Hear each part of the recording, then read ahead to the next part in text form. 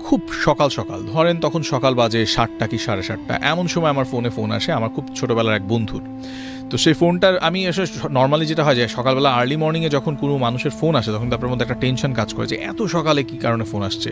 তো আমি ফোনটা রিসিভ করলাম রিসিভ করার সাথে সাথে আমার ফ্রেন্ডের কাছ থেকে মানে আমি ওর মানে কথা বলার ওয়ে শুনে বুঝতে পারতেছিলাম যে সামথিং ইজ রং অ্যান্ড যখন আমি ওরা জিজ্ঞেস করছি যে কী হয়েছে একটু নর্মালি কথা বল, তখন আসলে ও যেটা বলছে সেটা সামারি হচ্ছে এরকম যে আজকের মানে সারাটা রাত সে ঘুমাইতে পারে নাই।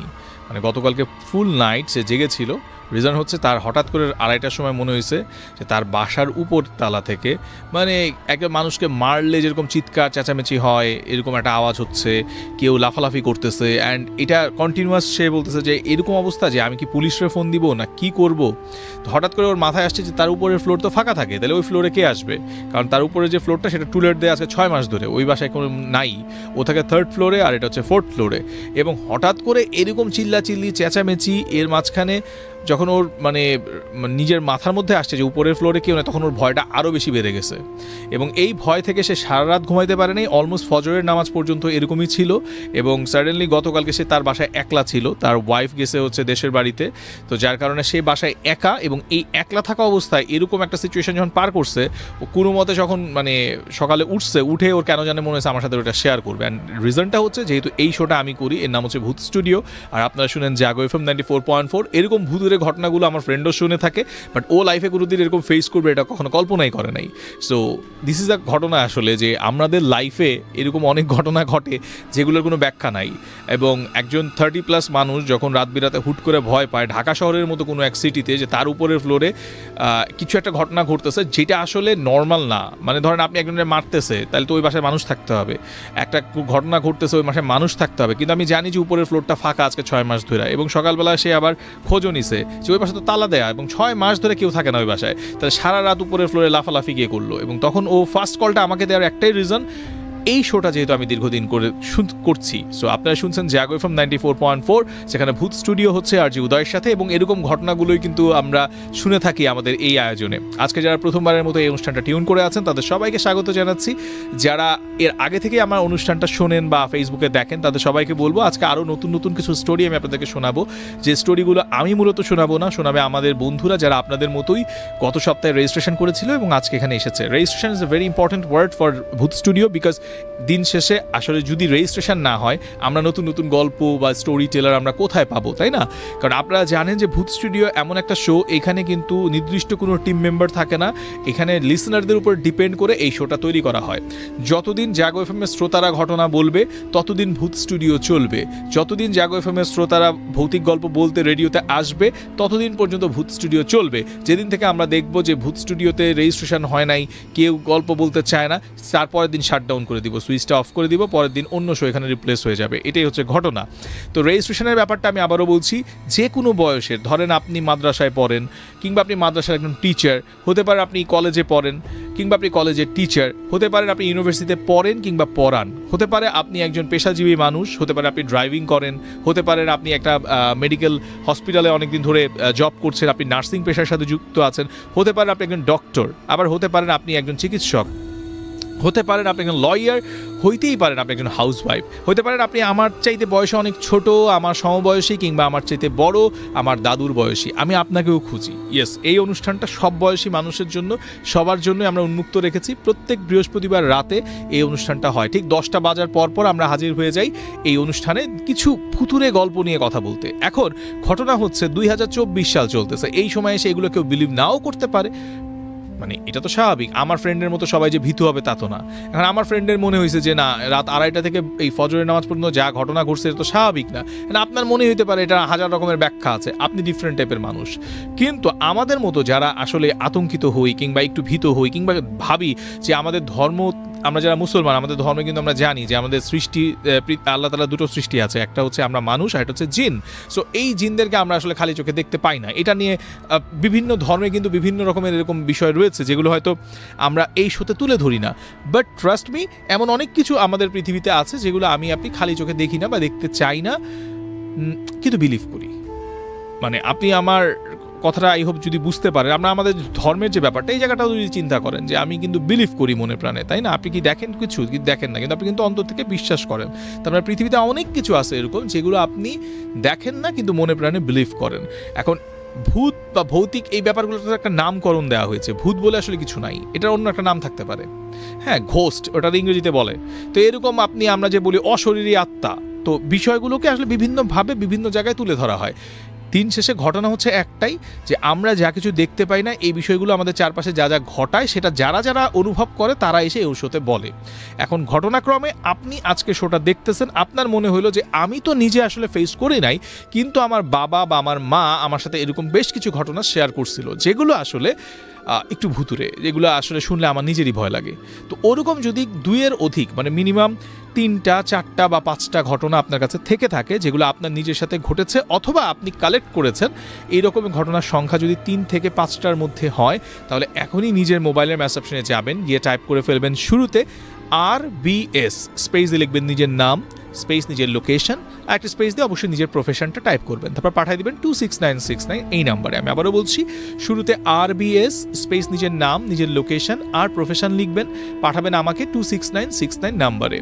কী হবে? পরবর্তীতে আমাদের যে টিম মেম্বাররা রয়েছে, যারা ভৌতিক গল্পগুলো ফোন করে শুনে, তারা আপনাদের ওই নাম্বারগুলো দেখে দেখে ফোন করবে। এখন অবশ্যই নিজের নাম্বার থেকে রেজিস্ট্রেশন করবেন। অনেকে কি করেন? বাবা মায়ের নাম্বার থেকে রেজিস্ট্রেশন করেন। আমরা পরবর্তীতে আপনাকে খুঁজে পাই না। আপনার বাবা হয়তো জানেই না যে তার ছেলে বা মেয়ে আসলে এরকম একটা শোতে যেতে চায়, হয়তো আপনি জানান নাই, এই কারণে জানে না। তো যদি অন্য কারও মোবাইল থেকে রেজিস্ট্রেশন করে থাকেন, তাকে আগে ইনফর্ম করবেন যে আমি কিন্তু তোমার মোবাইল থেকে জাগো এফএম একটা রেজিস্ট্রেশন করেছি, উমুক শোতে আমি যেতে চাই। তো আমরা তাহলে কি হবে? আপনাকে রিচ করতে পারব, আপনার গল্পটা প্রথমে ফোনে শুনব। ওটা যদি প্রচারযোগ্য হয়, আগামী বৃহস্পতিবারে এই হটসিটে আপনি থাকবেন। এই অনুষ্ঠানটা এই মুহূর্তে কোথায় কোথায় শোনা যাচ্ছে? ঢাকায় এবং কুমিল্লায় এবং এর আশেপাশে, ধরেন নরসিংদী, নারায়ণগঞ্জ, আড়াই হাজার গাজীপুর, সাভার, এই সমস্ত জায়গাগুলোতে আপনারা শুনতে পাচ্ছেন। একেবারে রেডিওতে আপনি নাইনটি ফোর পয়েন্ট ফোর ফ্রিকোয়েন্সিতে শোনা যাচ্ছে। আমি জানি এই মুহূর্তে অনেক মুদির দোকানে আমার অনুষ্ঠানটা শুনতেছেন, অনেক এটিএম বুথের চাচারা আমার অনুষ্ঠানটা শুনতেছেন, ওই কারও কারও বাড়ির কেয়ারটেকার ভাইয়েরা এই মুহূর্তে এই অনুষ্ঠানটা শুনছেন, অনেক মাদ্রাসার বন্ধুরা একটা ছোট্ট ফোনের মধ্যে ninety four point four frequency করে সবাই মিলে শুনতেছেন। কুমিল্লাতে প্রচুর মানুষ স্পিকার লাগাই এই অনুষ্ঠানটা শুনতেছেন, আমি সেটাও জানি। আমি জানি এই অনুষ্ঠানটা আমাদের অনেক ফ্যাক্টরিতে চলতেছে। এই মুহূর্তে আমাদের ফ্যাক্টরির যে ভাইগুলো আছেন, তারা কষ্ট করতেছেন, কাজ করতেছেন, করতে করতে আমাদের এই ভৌতিক অনুষ্ঠান শুনতেছেন। আপনারাও জানাবেন আমাদেরকে, জানাতে হলে কি করতে হবে? একটা এস এম এস করতে হবে। নাহলে তো আমি জানব না যে আপনি যে শুনছেন জে এফ এম স্পেস নাম দিয়ে মনের কথাগুলো লিখে পাঠিয়ে দিবেন আমাকে two six nine six nine নাম্বারে এই ক্ষেত্রে কিন্তু আরবিএস লিখবেন না। লিখবেন কি? জে এফ এম স্পেস আপনার নাম লিখবেন লোকেশন দরকার নাই। আপনার কেমন লাগতেছে শোটা শুনে, কোন গল্পটা ভালো লাগছে লিখে আমাকে ওই একই number two six nine six নাইনে পাঠিয়ে দিবেন। যারা আরেকটু আপগ্রেডেড ধরেন, আপনার কাছে একটা আগে বাটন ফোন ছিল, এখন স্মার্টফোন চলে আসছে। তো আপনি কি করতে পারেন, আপনি আমাদের ফেসবুক পেজ আছে। আমাদের ফেসবুক পেজ হচ্ছে W W W dot Facebook dot com slash Jago F M এটা জাগো এফ এর ভেরিফাইড পেজ এই পেজে মূলত অনুষ্ঠানটা লাইভ হয়। একই সঙ্গে যেহেতু আমি অনুষ্ঠানটা হোস্ট করতেছি, আমার যে একটা পেজ আছে W W W dot Facebook dot com slash R G Uday সেখানে অনুষ্ঠানটা ব্রডকাস্ট হচ্ছে। সেখানেও আপনারা অনেকে দেখতেছেন। যারা যেখান থেকে দেখতেছেন লাইভটা একটু শেয়ার করে দেন। বাস তাইলে কিন্তু কি হচ্ছে, আপনি যখন শেয়ার করতেছেন, তখন আপনার একটা ফ্রেন্ডের সামনে এই অনুষ্ঠানটা যাচ্ছে।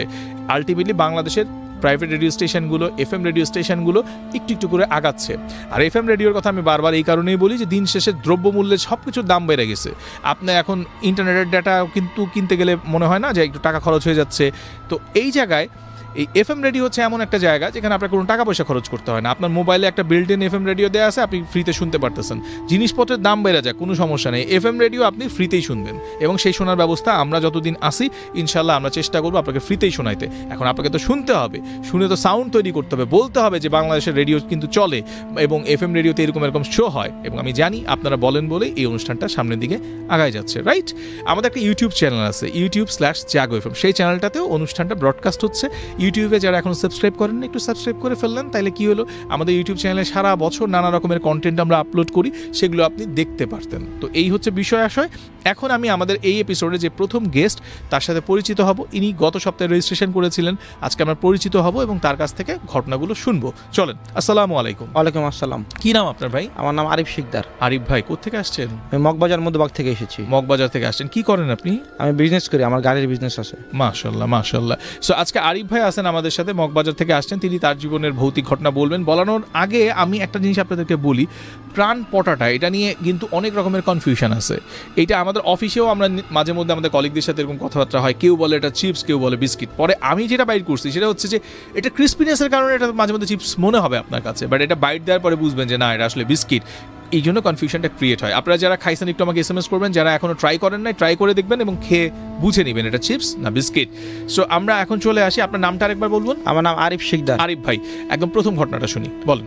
প্রথম ঘটনাটা এটা আমার এলাকায় আমার সাথে ঘটছে তো এটা হচ্ছে গত আট দশ বছর যাবৎ আমার এটা ঘটে আসতেছে। এটার উৎপত্তিটা হচ্ছে আমি একদিন ফজরের নামাজ পড়তে যাব।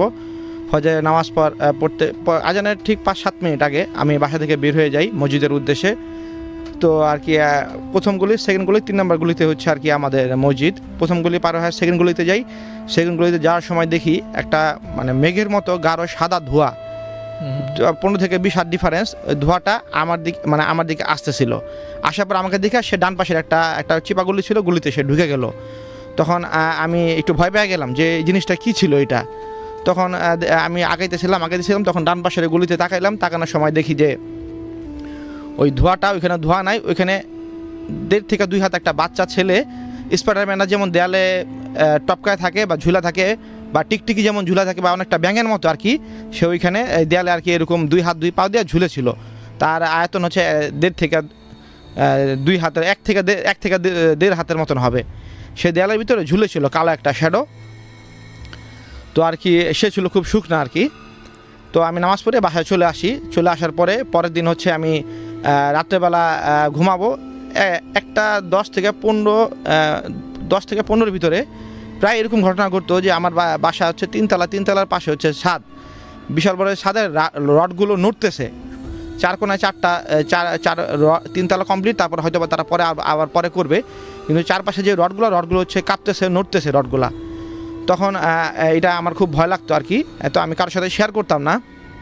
তারপর হঠাৎ করে তিনটা, সাড়ে তিনটা বা তিনটা, বিশ, পঁচিশের দিকে আমার ঘুম ভেঙে যেত। পাশে ছিল আমার আমার জানলার পাশে ছিল ছাদ তো ছাদের ওইখানে রেলিং ছিল। আমার কেন জন্য মনে হইতো ওই রেলিং, রেলিংয়ের ওইখানে কেউ বৈশা আমার দিকে তাকায় রয়েছে আর কি। কেউ আমাকে দেখতেছে, এরকম মনে হইতো।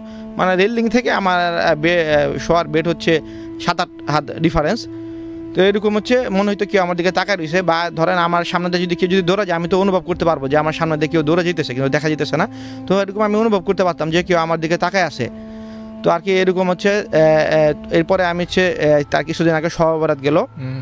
সহবরাতের সময় আমি মসজিদে নামাজ পড়লাম মসজিদের পাশে ছিল হাতিঝিল। তো আমার এক ছোটো বাইরে নিয়ে আমি দুইটা বিশ তিরিশ হবে।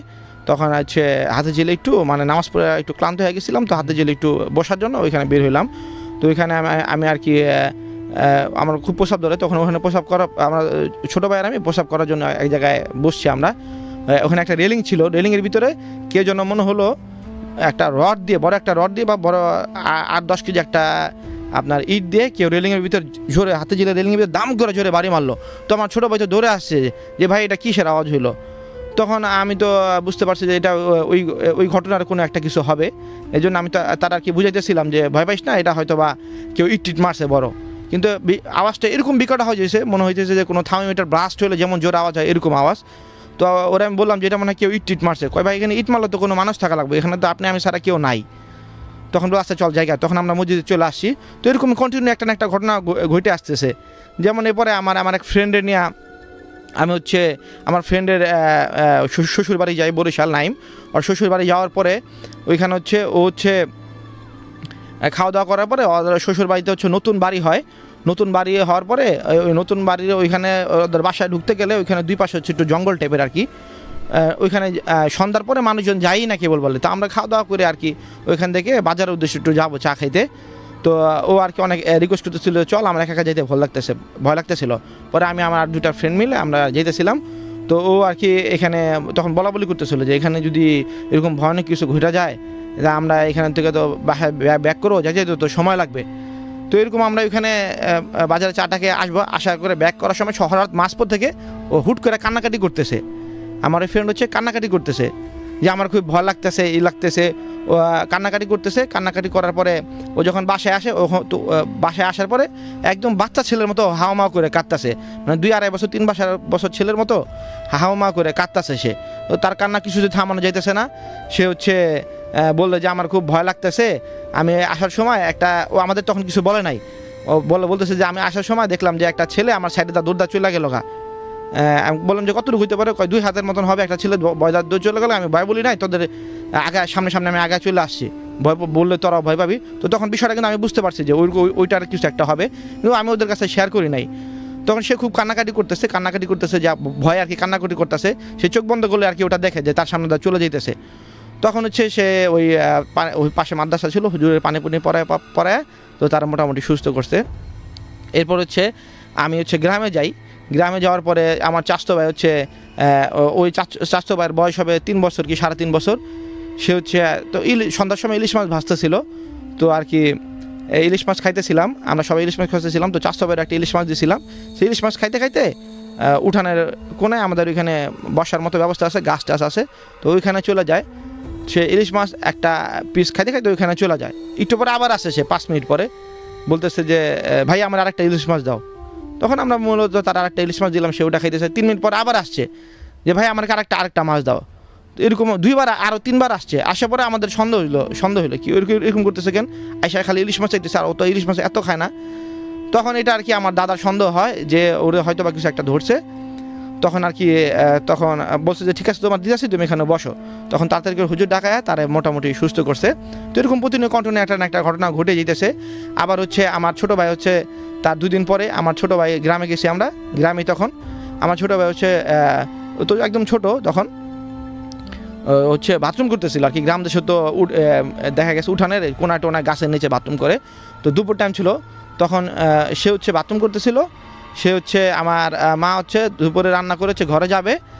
আর হঠাৎ দম করে জোরে একটা দমকা বাতাস আসলো। বাতাস আসতে কী করছে, আমার ছোট ভাই পায়খানা করতেছিল, এখান থেকে দশ হাত দূরে তার পায়খানা চলে গেল, এরকম আর কি। তখন সে হঠাৎ অসুস্থ হয়ে গেল গা, তারা এরকম মজা টজা দেখা ঠিক করছে। আবার আমার একটা ফ্রেন্ড আছে, আহমেদ শাকিল, ওরে আমরা আদর করে কালা নাইম বলে ডাকি। তো ও হচ্ছে, ওর বাড়ি হচ্ছে সাবার যেমন ও হচ্ছে এক দেড় বছর পর পর ওরা সাবারে ওখানে যায় পিকনিক করার জন্য। ওই বাড়িটা পরিত্যক্ত বাড়ি মানে ওরকম কেউ থাকে না, তালামারা থাকে। আমরা এক বছর পর পর যাই ওখানে মুরগি টুরগি পুরায় পিকনিক করার জন্য। তো ওইখানে এরকম ওদের সাথে যাই, যাওয়ার পরে ওর মেয়ের হচ্ছে বয়স হচ্ছে তিন বছর থেকে সাড়ে তিন বছর, চার বছর তখন। তো ওর মেয়ে হচ্ছে, আমরা ভিতরে ছিলাম, ওর মেয়ে হচ্ছে এই গেটের বাইরে, ওদের ওখানে অনেকটা ঝোপঝাড়ের মতো, জঙ্গলের টাইপের আর কি। মানুষজন ওইরকম নাই বললেই চলে। তো আর কি ওইখানে হচ্ছে, ওর মেয়ে হচ্ছে খেলা করতেছিল দুপুরের দিকে। তো ওর মেয়ে আর কি খুব কান্নাকাটি করতেছিল। খুব কান্নাকাটি করতেছিল, তো ওর মেয়ের কান্না কোনো রকমে আমরা থামাইতে পারি না। একদম দুপুর থেকে শুরু করে সন্ধ্যা সন্ধ্যা পার হয়ে রাত দশটা পর্যন্ত কান্নাকাটি করতেছিল। আর তখন যে আসব, ওইখান থেকে গাড়ি গাড়ি ঘোড়া গাড়ির মানে ওইখান থেকে মেন রোড যাইতে হলো মেন রোড থেকে গাড়ি ফোন করে আনা লাগে আর কি তো আমরা ওই দিন মোটামুটি আর কি দশটা এগারো পর্যন্ত কান্নাকাটি করার পরে থামসে থামার পরে আমরা ওরে নিয়ে পরের দিন ভোরেই ঢাকা চলে আসি। তখন সে তারা বললাম যে, আম্মু, তুমি এত কান্নাকাটি করতেছিলা কেন? পরে ও বলল যে যে চাচু, আমার আমি তো তখন দুপুরের দিকে ওখানে খেলতেছিলাম। একটা, দুই দুই আরে আমার সমান একটা ছেলে পুরা অলঙ্গ, পুরা ল্যাংটা একটা ছেলে এসে আমাকে বলে যে, চলো আমরা খেলি। তখন আমি বলছি যে, না, তোমার সাথে খেলব না। তুমি পচা, তুমি তো কাপড় চোপড় পরে নাই। তখন এটা এটা বলছি, কিন্তু ছেলেটা দৌড় দিয়ে আমার সামনে দা চলে গেল গা। তখন আমার একটু ভয় লাগছে, আর কি আমার ওই বাঁচতে বলতেছে তখন আমার একটু ভয় লাগছে। তখন আমি বাসায় ভিতর ঢুকে গেছি, ভিতর ঢোকার পরে আমি আবার উকি দিলাম বাইরে, যে ওই ছেলেটা কি আছে নাকি ওইখানে। তখন দেখলাম যে ওই ছেলেটা ওই আমাদের গেটের সামনে থেকে দৌড় দেয় নাকি আপনার তাল গাছ ছিল একটা পাশে, তাল গাছ উল্টো চলে গেছে। তখন ওই ওই তাল গাছ থেকে নাকি আমার এই ভাস্তিরা ডাকতেছিল যে আসো আমরা খেলি, তুমি উপরে আসো। তখন এটা ভয় পায়, সে ভিতরে ঢুকে গেছিল, তখন আর কি কাত্তা ছিল আর কি। তো এরকম একটা পর একটা ঘটনা ঘটতেছিল আর কি। পরে আবার আমার ওই ফ্রেন্ডে নিয়ে আমি দেখা গেছে, তার দুই বছর পর গ্রামের বাড়িতে যাই। গ্রামের বাড়িতে যাওয়ার পরে আমার ফ্রেন্ড আবার একটু ভিতর টাইপের ছিল, সে আর কি রাত্রেবেলা আট দশটা, আটটা, দশটা বাজে ওয়াশরুমে যাইতে তার ভয় লাগতো আর কি। তো তাদের ওয়াশরুমের পিছু ছিল, তাদের পুকুর ছিল। তো ওই পুকুরে এরকম নানা রকমের ঘটনা ঘটতো আর কি। তো ওরে নিয়ে আর কি ও আমার আর কি, আমি আসব না, ঘুমন্ত ছিলাম। জোর জবস্তি করে সে আমার নিয়ে আসে, যে চলো আমার তো ভয় লাগে। তখন সে ওয়াশরুমে গেছিল, আমি ওয়াশরুমের বাইরে দাঁড়াছিলাম তখন আমরা দুজনে শুনতেছিলাম যে একটা বাচ্চা কান্না করতেছিল। একটা বাচ্চা কান্না করতেছিল, ও তো মানে ওয়াশরুম ওয়াশরুম রাখাই আমার কাছে চলে আসলো তুমি কিছু শুনতেছো? আমি বলে হ্যাঁ শুনতেছি। দৌড় দাওড়ে নিয়ে আবার বাসায় ঢুকে গেলাম আর কি। তো এরকম আট দশ বছর ধরে কন্টিনিউ আমার সাথে ঘটে আসতেছেই। তো আমি একটা হুজুরে বলতে আমাদের এখানে একটা হুজুর ছিল, খুব ভালো নাম করা। তারা বলতেছিলাম যে, হুজুর শেয়ার করছিলাম তার সাথে, হুজুর, আমার সাথে এরকম মানে আমার কোনো ক্ষতি করে না, কিন্তু আমার সাথে এরকম আমার আশেপাশে যারা ছিল, তাদের কন্টিনিউ কিছু না কিছু ঘুরতে ঘুরতে আসি। কিন্তু তাদেরও মেজর কোনো ক্ষতি করে নাই, এখন পর্যন্ত। পরে সে আমার বলছিল যে এটা তুমি যেটা দেখছ, এটা ভালো একটা জিন। তো এটা তোমার ক্ষতি করবে না। এটা আছে যদি সমস্যা করে, তা আমাকে বলল আর কি। তো এরকম এখন পর্যন্ত আমার সাথে আট, দশ বছর যাবত কন্টিনিউ ঘটে আসতেছিল, আসতেছে এখন পর্যন্ত। তো এটা আমরা শুনছিলাম আমাদের আজকের প্রথম অতিথির কাছ থেকে তার জীবনের ভৌতিক অভিজ্ঞতাগুলো। আপনারা যারা টিউন করে আছেন Jago F M ninety four point four তাদের উদ্দেশ্যে বলছি, আপনাদের কাছেও যদি এমন অভিজ্ঞতাগুলো থেকে থাকে, যে অভিজ্ঞতাগুলো আপনারা আগামী পর্বের রেডিওতে এসে বলতে চান লাইভে Jago F M ninety four point ফোরের ভূত স্টুডিওতে তারা অবশ্যই নিজের মোবাইল ফোনটা হাতে নিন মেসেজ নিয়ে গিয়ে টাইপ করুন। শুরুতেই R B S R B S B for ball R B S একসাথে টাইপ করবেন স্পেস দিয়ে নিজের নাম লিখবেন স্পেস নিজের লোকেশন টাইপ করবেন স্পেস দিয়ে নিজের প্রফেশন টাইপ করবেন। তারপর টেক্সটটা পাঠাবেন আমাদের ঠিকানা two six nine six nine নাম্বারে। অবশ্যই মনে রাখবেন, গল্পের সংখ্যা হতে হবে দুইয়ের অধিক, তিনটি বা চারটি, তারও বেশি হতে পারে, কোনো সমস্যা নেই। যদি ঘটনাগুলো আপনি নিজে ফেস করে থাকেন, খুব ভালো। যদি মনে হয় যে না, আমি ফেস করি নাই, কিন্তু আমার জানি এটা আমার বাবার সাথে ঘটেছে বা আমার দাদুর সাথে ঘটেছে, তারা আমার সাথে শেয়ার করেছিল। আমি সেই ঘটনাগুলোই বলতে চাই আপনাদের এখানে। ডেফিনেটলি আপনারা রেজিস্ট্রেশন করতে পারেন।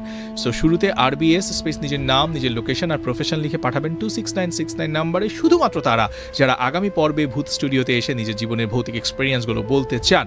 আর বন্ধু ভিড় ভাট্টায় গিয়ে শপিং করতে না চাইলে আপনি কিন্তু অথবা ডট কমে বাসায় বসেই ঝামেলাবিহীনভাবে শপিংটা সারতে পারেন। কারণ অথবা ডট কম মানেই হচ্ছে ঝামেলাবিহীন শপিং আপনি জাস্ট আপনার মোবাইল থেকে হোক বা পিসি থেকে হোক আপনি সার্চ করুন W W W dot Othoba dot com দেখবেন যে ওখানে ঢুকে পড়লে অনেক রকমের প্রোডাক্টস আপনার সামনে চলে আসছে, যেটা আপনার প্রয়োজন মনে হচ্ছে, সেটা আপনি পারচেস করে ফেলতে পারেন, বাসায় বসে সেটা রিসিভ করে ফেলতে পারবেন। সো আমার কাছে মনে হয় যে লাইফটাকে এখন ইজি করার সময় হয়ে গেছে রাইট তো আমরা আবারও ঘটনায় চলে যাব, এরপর আমরা আপনার কাছ থেকে পরপর দুটো ঘটনা শুনব। শুনি। এই ঘটনাটা মূলত আর স্যারের মুখ থেকেও শুনেছে, ও আমাকে বলেছে। এই ঘটনা শুনে প্রায় আমি কান্নাই করে দিয়েছিলাম। এই ঘটনাটা হচ্ছে আমার ফ্রেন্ডের স্যার ও ওনারা তখন খুব দরিদ্র ছিল আর কি, খুবই গরিব ছিল। ওনার ওনার বাপ বাবা কেউ নাই ওনার কোনো ভাই বোন নাই, উনি ওনার মাকে নিয়ে গ্রামে বসবাস করতো, একটা অজপাড়া গ্রাম। সেই গ্রামে যাইতে হলো মানে প্রায় ঢাকা থেকে যাইতে হলো প্রায় আট দশ ঘণ্টার মতো সময় লাগে। মানে তাদের গ্রামে ওই নদী, গাড়ির ব্যবস্থা নাই মানে নদী, সাঁকো, তারপরে হচ্ছে আপনার ট্রলার এরকম পার হয়ে তাদের গ্রামে যাইতে হয়। তো তা মা আর ছেলে খুব আর কি একটা গ্রামে বসবাস করতো। তো এক পর্যায়ে তারা, তাদের কোনো জায়গা জমি ছিল না, তারা খুব গরিব ছিল। ছোটোবেলায় তাদের বাবা মারা যায়, তো তাদের অভাব সংসারে খুব অভাব ছিল। তো তারা হচ্ছে বর্গা, গ্রামে যেমন বর্গা নাই, ওরকম বর্গা নিয়ে তারা জমি চাষাবাদ করতো। তো প্রায় চার বছ- বছর আগে একটা সময় খুব বন্যা হয়েছিল। প্রায় তিন, তিনবারের মতো বন্যা হয়েছিল। ওই বন্যায় তাদের ফসল ফসল সব ইয়ে হয়ে যায়, নষ্ট হয়ে যায়। তো তাদের খুব অভাব দেখা যায়। দেখা গেছে যে তাদের দুই বেলা খাইতে খুব কষ্ট হয়ে যায়। তখন হচ্ছে ওই লোকটা হচ্ছে ওই ছেলে হচ্ছে তাদের মারে বুঝায় যে ঢাকায় চলে আসার জন্য মারে আর কি বলে যে, মা, আমি ঢাকায় একটা চাকরি নেই, আমাদের তো সংসার চলতেছে না, খুব কষ্ট হইতেছে। তখন হচ্ছে ওই মা বলে যে, তুই ঢাকা যাওয়ার দরকার নাই, আমরা লাগলে একবেলা খামো। তো আমরা এখানে চাষাবাদ করি, গাছ টাছ লাগাই ফল টল হলে আমরা খামো না। গাছ টাছ লাগামো, ফল লাগামো, এগুলো হইতেও তো অনেক দেরি। আমি ঢাকা চলে যাই দেখা আমাদের এইভাবে অভাবে সংসার তো আর চলতেছে না। দেখা গেছে একটা অসুখ বিসুখ হইলে তো টাকা পয়সার দরকার আছে। তখন তারা মার বুঝায়, তার মাকে বুঝায় টুজায় সে ঢাকায় এসে অনেক কষ্ট করে একটা চাকরি নেয়। চাকরি নেওয়ার পরে প্রায় তখন যোগাযোগ ব্যবস্থা ওইরকম ছিল না। মুঠোফোনের দেখা গেছে গরিব হওয়া হওয়ার কারণে তাদের তো মুঠোফোনের ওরকম কেনার সামর্থ্য ছিল না আর খুব কম দামে চাকরি নেয়। আর তখন হচ্ছে সে হচ্ছে প্রায় তিন, চার মাস হয়ে যায়, তার মার সাথে, দুই আড়াই মাস, তিন মাস হয়ে যায়, তার মার সাথে কোনো যোগাযোগ হয় না। তখন তার মা হচ্ছে একটা লোক মারফত আর কি পাঠায় তার গ্রামের এক লোকের কাছে, তার কাছে খবর পাঠায় যে তার মা খুব, তিন, চার মাস ধরে, দুই, আড়াই, তিন মাস ধরে তার মার সাথে দেখা হয় না। তখন তার মার কাছে সে তার লোক দিয়ে খবর পাঠায় যে তার মা খুব অসুস্থ, সম্ভব হইলে এখনই তার মাকে দেখতে মানে তার মা তাকে খুব দেখতে মনে চাইছে ছেলেরে, সম্ভব হলে এখনই জেনে চলে আসো খবর পাওয়ার সাথে সাথে। তখন ওই ছেলে কি ওই দেখা গেছে যে পাঁচটার দিকে জব শেষ করে সে হচ্ছে রওনা দিয়ে দিছে দেশের পথে। তখন সে গ্রামের দিকে প্রায় গ্রামে পৌঁছায় গেছে আর কি। আর চার পাঁচ গ্রাম পরেই তাদের হচ্ছে গ্রাম আর কি। আর দুই তিন ঘণ্টা পরেই অতিক্রম করলেই তাদের গ্রাম। তখন হচ্ছে ওই লোকটা হচ্ছে গ্রামের মেঠো পথ দিয়ে হাঁটতে, হাঁটতেছে হাঁটতেছে। হঠাৎ করে দেখে যে সে মানে রওনা করে, তখন ঢাকা থেকে তো রওনা দিছে পাঁচটার সময় যেতে অনেক রাত হয়ে গেছে। হঠাৎ করে সে দেখে যে ধানের ওইখানে যে কাকতরোয়া থাকে গ্রামে, ওই কাকতরাগুলা কি করতেছে? দুইটা কাকতরোয়া দুই প্রান্তে জমির ওই মাথায় একটাই, মাথায় একটা। সে দেখতেছে কাকতারাগুলো কী করতেছে? দৌড়াইতেছে মানে দৌড়ায় একটা আরেকটা সামনেরটা পিছনের জায়গায় যাইতেছে, পিছনেরটা সামনের জায়গায় আসতেছে। তো এরকম দৌড়াইতেছে, সে দেখে, দৌড়াইতেছে, এরকম দেখে সে ভয় পাওয়া যায় আর কি। ভয় পাওয়ার পরে সে আর কি দোয়া টোয়া পইরা সামনের দিকে আগায়।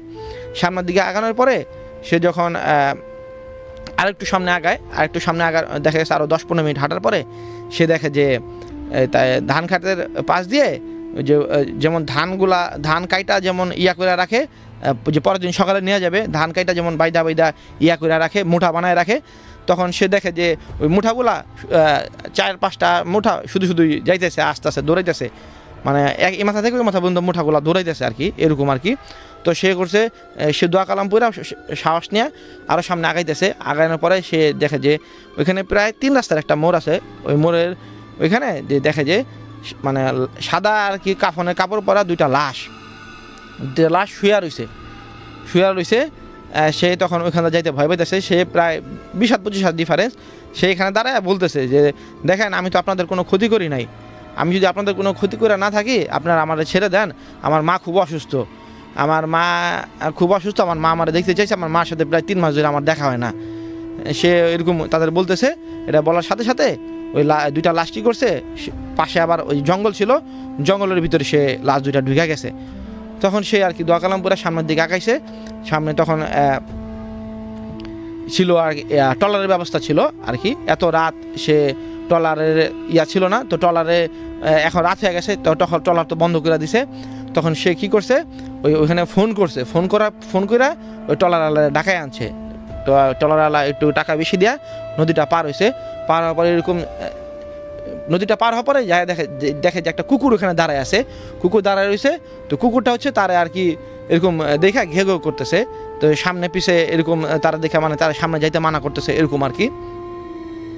তো কুকুরটা তার সাথে সাথে যাইতেছে মানে যাওয়ার পরে সে আবার যেতেছে যেতেছে যেতেছে যেতেছে যাওয়ার পরে দেখে যে আবার সামনে আরেকটা দুইটা লাশ, ওই লাশ দুইটাই সামনে পড়ে রয়েছে। তখন হচ্ছে ওই কুকুরগুলা ওই লাশটার দিকে অনেক ঘেউ ঘেউ ঘেউ ঘেউ করতেছে, কিন্তু কুকুরটা আর কি ঘেউ ঘেউ পারতেছে না আর কি। তখন সে কুকুরটা আস্তে আস্তে পিছনের দিকে চলে আসে। তখন সে আবার বলে, দেখেন, আমার মা খুব অসুস্থ, আমার যেতে দেন, আপনারা এরকম করতেছেন কেন? আমার মা তো খুব অসুস্থ। আমার মা খুব অসুস্থ, আমার মা আমার দেখতে চাইছে। তখন ওই লাস্ট লাশগুলা কথা বলে যে তোর যদি ক্ষতি হইতে না চাস, তাহলে আমার লাশগুলা তুই এখান থেকে সরাই যা। তখন সে কী করছে, সে অনেক সাহস নিয়ে সে লাশগুলা দুইটা লাশ টাইনা টাইনা সরাইছে। টাইনা টাইনা রাস্তা থেকে টাইনা টাইনা সরায় ধান ক্ষেতের ভিতরে রাখছে। এরকম দুইটা লাশ টাইনা টাইনা সরাইছে। সরানোর পরে সে এরকম আবার কুকুরটার সাথে সে আবার এরকম যাইতেছে, কুকুরটা আবার তার সাথে সাথে যাইতেছে। যার পরে দেখে যে একটা সাঁকো একটা বাঁশের সাঁকো, লম্বা একটা সাঁকো সাঁকো, সাঁকোটা আর কি সে পার হইতে ভয় পাইতেছিল যে সাঁকোর এখানে আবার পানি, একটা পিছনে একটা ঘটনা ঘটে গেল। তো আর কি সাঁকোটা পার হইতে ভয় পাইতেছিল। তখন সে দেখে যে কুকুরটা আছে, এক চান্সে সে সাঁকোরটা পার হয়ে গেল দৌড়ায়া তখন সে ওই কুকুরটা দেখে যে সে ভিতরে সাহস সঞ্চয় করে যে এই কুকুরটা এক এক দূরে পার হয়ে গেল, কুকুরটা পার হলে তো আমিও পারব তখন সে কি করছে, সাহস নিয়ে সে সাঁকোটা পার হয়ে গেল। পার হয়ে যাওয়ার পরে প্রায় বিশ পঁচিশ মিনিট হাঁটার পরেই তাদের বাসায় ঢুকলো। বাসায় ঢুকার পরে দেখে যে সে তার মা নাই, তার মা হচ্ছে মারা গেছে। মারা যাওয়ার পরে সে খুব কষ্ট পায় আর কি। তখন সে দু তিন দিন পরে অনুধাবন করতে পারে যে কুকুরটা কিছু একটা ছিল বা হয়তো বা কোনো একটা আত্মা ছিল বা তার ভালো ভালো কোনো একটা ঝিনটিন ছিল যে তারা প্রোটেক্ট করছে। এই ছিল আমার দ্বিতীয় ঘটনা আর কি। এখন আমি আমার তৃতীয় ঘটনায় চলে যাব। আমার তৃতীয় ঘটনা হচ্ছে আমার ভাই রফিকুল আমিন ওর মুখ থেকে শোনা। ও হচ্ছে একজন মুফতি আর কি, এবং হাদিস বিশ্লেষক, একজন হাদিস বিষয়ক বিষয়ে এখন স্টাডি করতেছে। ও হচ্ছে মাদারপুরের একজন স্বনামধন্য একটা মাদ্রাসায় হচ্ছে পড়াশোনা করে। তো হচ্ছে, ও ও হচ্ছে একদিন মাদ্রাসায় হচ্ছে আপনার গরম লাগতেছিল, গরমের দিন, খুব খুব গরম লাগতেছিল। গরম লাগার পরে সে হচ্ছে মাদ্রাসায় বারান্দায় আসে। বারান্দার পাশেই ছিল হচ্ছে পুষ্কুনি। পুষ্কুনির পাশে হচ্ছে, ওই পারে হচ্ছে আবার হাঁটার জন্য পুরা ব্যবস্থা আছে। ও হচ্ছে মাদ্রাসা গরম দেখে ও রাত্রেবেলা তাহাজুত পরে নিচে নামে আর কি। নিচে নামা নিচে একটু বাতাস, নিচে আবার পুষ্কুনি। ও দেখা যে পুষ্কুনির ওই পারে অনেক লম্বা লম্বা লোক। অনেক লম্বা লম্বা লোক, প্রায় দুই ডাবল মানে আমাদের মানুষেরা যেমন, ওইরকম দুই ডাবল লোক। আপনার পাগড়ি পরা, পাঞ্জাবি পরা লোক হচ্ছে হাঁটাহাঁটি করতেছে এখান দিয়ে। প্রায় চার পাঁচজন লোক হাঁটাহাঁটি করতেছে। তো হচ্ছে লম্বা লম্বা লোক এরকম এত লম্বা লোক ওদিকে মানে কেমন একটা ইয়ে হয়ে গেছে। মাদ্রাসার স্টুডেন্ট তো, মুফতি, ওরকম ভয়ভীতি পায় নাই। তো হচ্ছে হাঁটতে হাঁটতে পুকুর ওই পারে যায়। মানে ওই লোকগুলা কারা দেখতে আর কি, ওরা ভিতরে খুব সাহস ছিল। ঘুরে সে পুকুর ওই পারে যা দেখে কেউ নাই। তখন তার ভিতরে একটু ভয় লাগে। তখন সে দোয়া কালাম পইরা তো সে আবার এদিক ওদিক খুঁজে, কি তারা গেল কই? এখানে তো আর রুম নাই রুম তো সব আমাদের ওইখানে। তো সে এরকম ইয়া মনে কইরা সে দোয়া কালাম চলে আসে। চলে আসার পরে সে তখন তার ওই আরও মাদ্রাসার অনেক স্টুডেন্ট থাকে, তাহাজুদ পরে তো তাদের এটা বিষয়টা বলে। তো তারা তখন বিষয়টা ওরকম গুরুত্ব দেয় না যে তারা হাসাহাসি করে। হাসাহাসি করে, আবার কয়েকজন বলে যে না, এরকম হইতেই পারে, কারণ জিন তো আছে, আমাদের কোরআনে আছে, জিন আছে। হ্যাঁ? আর আল্লাহ তালা তো বলে, আমা খালাকুতুল জিন নলিন সাইলা লিয়াবুদুন। আমি মানুষের জিনকে সৃষ্টি করেছি একমাত্র আমার ইবাদতের জন্য। তো এরকম আর কি বিষয়টা সে ওর অনেকে গুরুত্ব দেয় অনেকে গুরুত্ব দেয় না। ও আবার একটু দুষ্টু প্রতিক্রিয়া ছিল। ও আর কি তখন ঘুমায় পড়ে। ঘুমানোর পরে সে সব তখন স্বপ্ন দেখে যে, তুমি যা যাদের বলছো, সমস্যা নাই, তুমি এই বিষয়টা আর কাউকে বলো না। হুম, এই বিষয়টা আর কাউকে বলল না। আর ও তখন কি করছে সকালে ঘুম থেকে ওঠার পরে ওদের যে ইমাম ইয়া ছিল মানে ই বলে আর কি, ওইটারে বলে একজন রাহাবা থাকে আর কি, ওই তাদের, তারে আর কি বলে যে আমি তো এরকম এরকম ছিলাম, বিষয়টা কি ছিল? তখন সে বলছে যে আমি তখন তাদের, তারা বলে যে, আমি তো মনে করছিলাম যে ইরান থেকে বিভিন্ন সৌদি থেকে আমাদের বাংলাদেশে বিভিন্ন সময় লোক আসে লম্বা লম্বা লোক, আমি তো মনে করছিলাম তারা, কিন্তু তাদের থেকে তারা অনেক লম্বা ছিল। তখন সে বলছে যে সে আবার ওইটাও বলছে যে, আমার আবার তারা স্বপ্ন দেখাইছে তোমার থাক। তার হাইসা হাইসা বলতেছে যে তুমি এটা কাউরে বইলো না? তুমি এটা কারোর সাথে শেয়ার করো না আর কি যা দেখছ দেখছ, সমস্যা নাই। তুমি কারোর সাথে শেয়ার করো না, তোমার কোনো ক্ষতি হবে না। তখন ওই তার মাদ্রাসার স্টুডেন্ট সে বল যে রাহাব আর কি সে আর কি বলে যে, ঠিক আছে তো তারা যেহেতু বলতে মানা করছে, আর তোমার তো কোনো ক্ষতি করতেছে না, তুমি তাদের বলল না। তুমি আমার বলছো, তুমি আর কারোর কাছে শেয়ার করো না।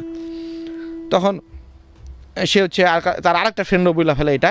বুঝলা ফেলে পরে দুপুর টাইমে সে হচ্ছে ওয়াশরুমে যাবে মানে তার লাঞ্চের টাইম তাদের লাঞ্চের টাইমে ওয়াশরুমে যাবে। সে ওয়াশরুমে যায় যাওয়ার পরে সে যার কাছে অষ্টম থেকে যাওয়ার পরে অষ্টম থেকে চলে আসবে আহ, মাদ্রাসার দিকে খাবারের জন্য। সে অষ্টম থেকে যখন চলে আসবে তখন যার কাছে বলছিল তার ফ্রেন্ড আর হুজুর দুজনের রূপ ধরে দুইটা আর কি জিন আসে তার কাছে মানে আইসা তারে ওই দুজনের রূপ ধরে আর দুজনের দুই পাশে ধরে।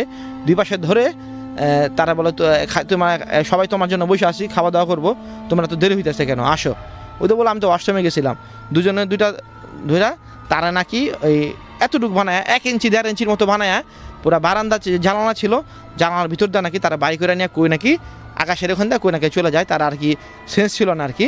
তারা এতটুকু সেন্স ছিল, তারা তারা প্রায় এক ইঞ্চি, দেড় ইঞ্চি বানায়, তারা যা বারান্দা ছিল, বারান্দার ভিতর দিয়ে ঢুকে বের হয়ে কই যেতেছে তো তার যখন হুশ ফিরে, সে দেখে যে নরম একটা বিছানার ভিতরে বিছানার ভিতরে শুয়ে রয়েছে আর শোয়ার সার তার সামনে অনেক ফুল টুল সাজানো, আবার অনেক খাবার টাবার সাজানো, অনেক মিষ্টি, দই, আঙুর সাজানো, তারপরে কাঁঠাল সাজানো, তারপরে ওইখানে অনেকগুলো লোক বসেছিল, ওই লোকগুলো আর কি তারে বলতেছিল যে তোমার সুন্দর সুন্দর লোক বসেছিল, ওই লোকগুলো আর কি তারা বলতেছিল যে, আমি তো তোমারে বলছি, তোমাদের তোমার তো স্বপ্ন, স্বপ্নেও বলছি যে, তুমি এই এই লোকটা এই এই, এই- কাহিনীটা তুমি কাউরে দেখাও না, তুমি এই ঘটনাটা কাউরে বইলো না, তারপর তুমি কেন বললা? তখন সে অনেক কান্নাকাটি করতেছিল। আমার ওই ভাইয়ার অনেক কান্নাকাটি করতেছিল যে আমার ভুল হয়ে গেছে আমি তো বুঝি নাই আমি ছোট মানুষ আমার আপনারা ক্ষমা করে দেন। তখন সে বলতেছে ঠিক আছে সমস্যা নাই তুমি বলছো ছোট মানুষ এটা হইতেই পারে কিন্তু তুমি হচ্ছে এটা আমরা আবারও বললাম তুমি এটা আর কাউকে বলো না তো, এটা যা বলছো বলছো আর কাউকে বলল না। আমরা ওইখান দিয়ে হাঁটাচলা করি আর ওই মাদ্রাসে আমরা অনেক বছর ধরে আছি তুমি এটা কাউকে বলো না। তখন আমার ভাই অনেক কান্নাকাটি করতেছে যে আমি কাউকে বলব না। তখন অনেক সে ভয় পাইছে যে এটা কই আসলাম আমি? তখন হচ্ছে তারা তারা অনেক সাথে অনেক রসগোল্লা সাথে ছিল, দই সাথে ছিল, কিন্তু সে খাবে না, সে হচ্ছে ভয় ছিল, সে কি, কী খাবে? তার তো মানে সে অনবসত প্রায় দুই আড়াই ঘণ্টা, তিন ঘণ্টা এরকম একটা অনুমানিক মাপ না সে কান্নাকাটি করতেছিল। তখন সে বলতেছে, তুমি খাও, আমরা তোমার দিয়ে আসব, সমস্যা নাই। তখন সে কিছুতেই খাবে না, সে বলতেছে, দেখেন, আমরা আমার মা মা বাবার কথা খুব মনে পড়তেছে, আপনারা আমার দিয়ে আসেন। তখন তখন সে হচ্ছে, তারা ঠিক আছে, কবে, তুমি খাও তারপর তোমরা দিয়ে আসব না। কিন্তু সে, তারপরও সে খায় না। তখন সে আগের মতো ঠিক হচ্ছে তার তার সাদা রুমাল দেয়া তার চোখটা বাইদা, সে ওই মাদ্রাসার পাশে কি করছে, সেখানে একটা চেয়ার ছিল চেয়ারের ভিতরে তারা দিয়ে রেখে গেছে। তখন তার স্যারেরা, ওই তার হুজুর আবার আসছে যে তুমি এখানে বসে গেছো কেন? খাবে না? বলে হ্যাঁ আমার তো তখন তখন বলছে, হুজুর আমার এরকম এরকম নিয়ে গেছিল। পরে বলছে যে, তার আবার বলেছে যে কাউরে না বলতে। তখন সে বলছে বলছে যে, বেটা, তোরা বলতে না বলছে তুই আবার আমার কাছে বলতেছিস কারণ তুই আচ্ছা বলিস না, আমরা তোর দোয়াটা অপরে ই করে দিতেছি। তখন সে তারা দোয়াটা অপরে দেয়, সে দুপুরে লাঞ্চ টাঞ্চ করে লাঞ্চ করার পরে প্রায় এক সাত, আট মাস পর, আবার বছর খানিক পর পর তা, তারা তারা দই দেওয়া যায়। এখনও তারা তারা তাদের দেড় কেজি, দুই কেজি ওজনের দই দেওয়া যায়, রসগোল্লা দেওয়া যায়, যেমন তাদের বাসায় তারা মাদাসায় দেওয়া যায়, অনেক সময় তার বাসায় দেওয়া যায়। দেড় বছর, দুই বছর পর পর, ছয় মাস, আট মাস পর পর মানে হুট করে দেখে যে তার ব্যাগের ভিতরে দই, তারপরে প্যাকেট, রসগোল্লা, বড় বড়, এটা আমি নিজেও খাইছি। মানে এত মিষ্টি আর এত মজা মানে এরকম রসগোল্লা দই আমি কখনো খাই নাই। আর বিশেষ করে দইটা মানে অমায়িক মজা। মানে মুখে দিলে মানে ওটা স্বাদ মানে দুনিয়ার কোনো স্বাদের মতো না। মানে অন্যরকম স্বাদ আর কি। তো এরকম এখনও তার মানে তার কাছে খাটের তলে বা ব্যাগের ভিতরে এরকম তার ঘরের সানসেটের উপরে সে রসগোল্লা ঘরের ভিতরে রসগোল্লা দেওয়া যায়, এরকম দই দেওয়া যায়। হ্যাঁ এখনও আমাকে একবার খাওয়াইছিল, অনেকেই অনেক আমাদের ফ্যামিলির অনেকেই খাইছে এরকম। তো এই ছিল আমার তৃতীয় ঘটনা এবং শেষ ঘটনা। অনেক অনেক ধন্যবাদ আপনাকে কষ্ট করে এখানে আসার জন্য এবং আমাদেরকে বেশ কিছু ঘটনা শোনানোর জন্য। নিশ্চয়ই ভবিষ্যতে আপনার সাথে দেখা হলে বাকি ঘটনাগুলো আমরা শুনব এবং আবারও কথা হবে আপনার সাথে। ভালো থাকবেন আপনি। কথা হলো আমাদের আজকের প্রথম অতিথির সাথে এবং আজকে যারা টিউন করে আছো Jago F M ninety four point four এদের মধ্যে অনেকের কাছে কিন্তু এই ধরনের ঘটনা থাকার কথা। হয় না যে আমরা হয়তো নিজের সাথে ঘটে গেছে একটা ঘটনা? কাউকে কখনো বলি নাই বাট বলতে ইচ্ছে করে যে এরকম এরকম একটা ঘটনা ঘটেছিল। তো এরকম যদি ধরো তোমার কাছে তিনটা, চারটা, পাঁচটা, ছয়টা ঘটনা থাকে মানে দুইয়ের অধিক, তাহলে ডেফিনেটলি তুমি রেজিস্ট্রেশন করো। আমরা নেক্সট পর্বে তোমাকে হটসিটে দেখতে চাই, তোমার ঘটনাগুলো সবাইকে শোনাতে চাই। তার জন্য কি করবে? নিয়মটা বলি, তোমার মোবাইল ফোন আছে, তাতে মেসেজ অপশনও আছে। মোবাইলের মেসেজ অপশনে গিয়ে টাইপ করো শুরুতে আর বিএস আর বিএসটা একসাথে লিখো স্পেস দিয়ে তোমার নাম লিখো স্পেস তোমার লোকেশন টাইপ করো, আর স্পেস দিয়ে তোমার প্রফেশন টাইপ করো। এরপর টেক্সটটা করো আমাকে two six nine six nine নাম্বারটাতে এখন ব্যাপারটা হচ্ছে যে এই অনুষ্ঠানটা তো ফেসবুকেও দেখা যায় W W W dot Facebook dot com slash Jago F M এবং একই সঙ্গে W W W dot Facebook dot com slash R G Uday সেখানে লাইভটা যারা দেখছ লাইভটা একটু কমেন্ট করো। তোমরা জানো যে আমি আমার আর জি উদয়ের পেজে নিয়মিত ভিডিও প্রকাশ করি, ছোট ছোট কখনো কখনো তিন মিনিট কখনো চার মিনিটের প্রত্যেক দিনই চেষ্টা করি একটা ভিডিও আপলোড করার। এবং তোমরা সেগুলো দেখো, অনেকেই জাগো এফ এমের লিসনার তারা এখানে দেখেন এবং কমেন্ট করেন, আমার খুব ভালো লাগে। যখন আমি দেখতে পাই যে আমি আপনার ভূত স্টুডিওর একজন লিসনার এবং আমি কন্টেন্টটা দেখেছি, এই মতামতটা যখন লিখেন, তখন ভীষণ রকম ভালো লাগে। তো এই প্রেক্ষাপট থেকে আমি বলব যে কানেক্টেড থাকেন, লিখবেন। আপনাদের ইন্সপায়ারেশনগুলো আপনাদের কমেন্টসগুলো আমাকে অনেক বেশি ইন্সপায়ার করে সামনে এগিয়ে যেতে। সো আজকের এই এপিসোডে যারা এই মুহূর্তে আমাকে দেখছেন অনুষ্ঠানটিতে, আমি তাদের উদ্দেশ্যে জাস্ট এতটুকু বলব যে আপনি যদি আগামী পর্বে আসতে চান, তাহলে মোবাইলটা হাতে নিন ম্যাসেজ অপশনে গিয়ে টাইপ করে ফেলুন। শুরুতে আর বিএস স্পেস দিয়ে লিখুন নিজের নাম, নিজের লোকেশন আর প্রফেশন তারপর সেই টেক্সটটা আমাকে পাঠাই দেন, আমার ঠিকানা হচ্ছে two six nine six nine নাম্বারটিতে আপনারা শুনছেন ভূত স্টুডিও ব্রট টু বাই প্রাণ পটাটা। এই শোটা আরও অনেকক্ষণ চলবে আরও বেশ কিছু ঘটনা আপনাদের সামনে আমরা তুলে ধরার চেষ্টা করব। এবং অনেকেই আমাকে কমেন্ট করেছেন, আমি কিছু কমেন্ট নিয়ে নিব ঝটপট করে, কারণ কমেন্ট জমে গেছে বেশ কিছু। যেমনটা আমাদের সাথে রাতুল যুক্ত হয়ে জানিয়েছেন, উদয় ভাই, আজকের ভূত স্টুডিওটা আমার কাছে ভালো লাগছে। থ্যাংক ইউ সো মাচ আমাদের সাথে প্রবালদা যুক্ত হয়ে গেছে, তিনি আমাদের এই অনুষ্ঠানটা পশ্চিমবঙ্গের শিলিগুড়ি থেকে অনুষ্ঠানটা ফেসবুকে দেখছেন এবং তিনি বলছেন, তার কাছে এই শোটা ভালো লাগে। থ্যাংক ইউ সাদিয়া লিখেছ, মিরপুর থেকে, উদয় ভাই, আমার ভালো লাগছে যে আপনি আবার ভূত স্টুডিওতে ব্যাক করেছেন, মাঝখানে কোথায় গিয়েছিলেন? আমি মাঝে মধ্যে একটু আমার কাজের প্রেশারের কারণে বা কোনো একটা স্পেসিফিক রিজনে হয়তো ভূত স্টুডিও মিস করে ফেলি। আপনারা যেরকম আমাকে মিস করেন, আমিও ঠিক তেমনি করে আপনাদেরকে এবং আমার এই মাইক্রোফোনটাকে মিস করি। বাট যখনই আমি সুযোগ পাই, আমি কিন্তু চলে আসি ভূত স্টুডিওতে আপনাদের সাথে আড্ডা দিতে। আমাদের সাথে জয়েন করেছ এখানে দেখা যাচ্ছে রিফাতকে। তিনি বলছেন, আজকের এপিসোডটা আমার ভালো লাগছে। আরও ভৌতিক ঘটনা শুনলে ভালো লাগবে এবং একটু বড় সড়ো টাইপের ঘটনা শুনতে চান, অর্থাৎ লম্বা ঘটনাগুলো শুনতে তার ইচ্ছে করছে। ঠিক আছে, আমরা চেষ্টা করব এরকম ঘটনা আপনাকে শোনাতে।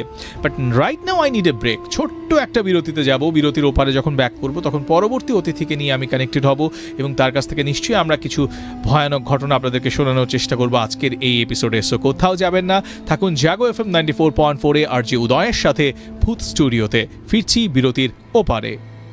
হ্যালো গাইস দিস রাফসান ছোট ভাই আমি নাকি সবকিছু রিভিউ করতে পারলেও এই বিস্কিটটা নাকি রিভিউ করতে পারব না। স্পাইসি এন্ড ক্রিস্পি তাহলে তো এটা চিপস ব্রো টেক্সচারটা একটু ডিফারেন্ট এটা তাহলে বিস্কিট নো ব্রো এটা চিপস এটা বিস্কিট এটা চিপস এটা বিস্কিট এটা চিপস ব্রো বাছাই করা আলুর সাথে স্পাইসি সিজনিং এর টুইস্টে এলো প্রাণ পতাটা গাইস থামো। এটা চিপস নাকি বিস্কিট কে বুঝে নাও। হ্যালো গাইস দিস রাফসান ছোট ভাই। আমি নাকি সবকিছু রিভিউ করতে পারলেও এই বিস্কিটটা নাকি রিভিউ করতে পারব না।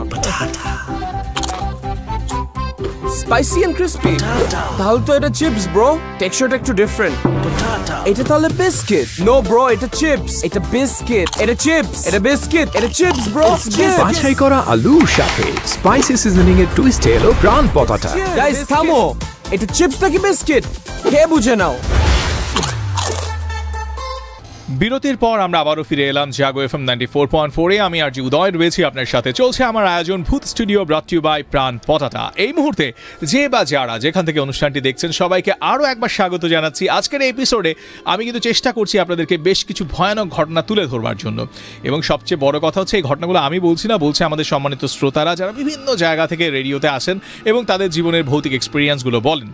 সো খুব ভালো লাগবে আগামী পর্বে। আজকে যিনি দেখছ ফেসবুকে বা শুনছো রেডিওতে আমাকে ঢাকা বা কুমিল্লা থেকে বা নারায়ণগঞ্জ থেকে বা নরসিংদী থেকে, সাভার থেকে কিংবা গাজীপুর থেকে, তাদের মধ্যে যারা আজকে রেজিস্ট্রেশন করবে আর নেক্সট পর্বে এখানে বসে যাবে, আমি তাদের জন্য অপেক্ষা করছি। সো তুমি যদি হও সেই বন্ধুটি, হতে পারো তুমি একজন পুরুষ কিংবা নারী, হতে পারো তুমি একজন বাবা কিংবা মা, হতে পারো তুমি একজন স্টুডেন্ট কিংবা পেশাজীবী মানুষ, যেই হও না কেন, তোমার কাছে থাকা ঘটনাগুলো এবার তোমার কাছে নয়, সবার কাছে ছড়িয়ে দাও। ভৌতিক ঘটনাগুলো শোনার জন্য প্রচুর মানুষ ওয়েট করে, ভূত স্টুডিওর জন্য প্রচুর মানুষ ওয়েট করে প্রত্যেক বৃহস্পতিবার রাতে।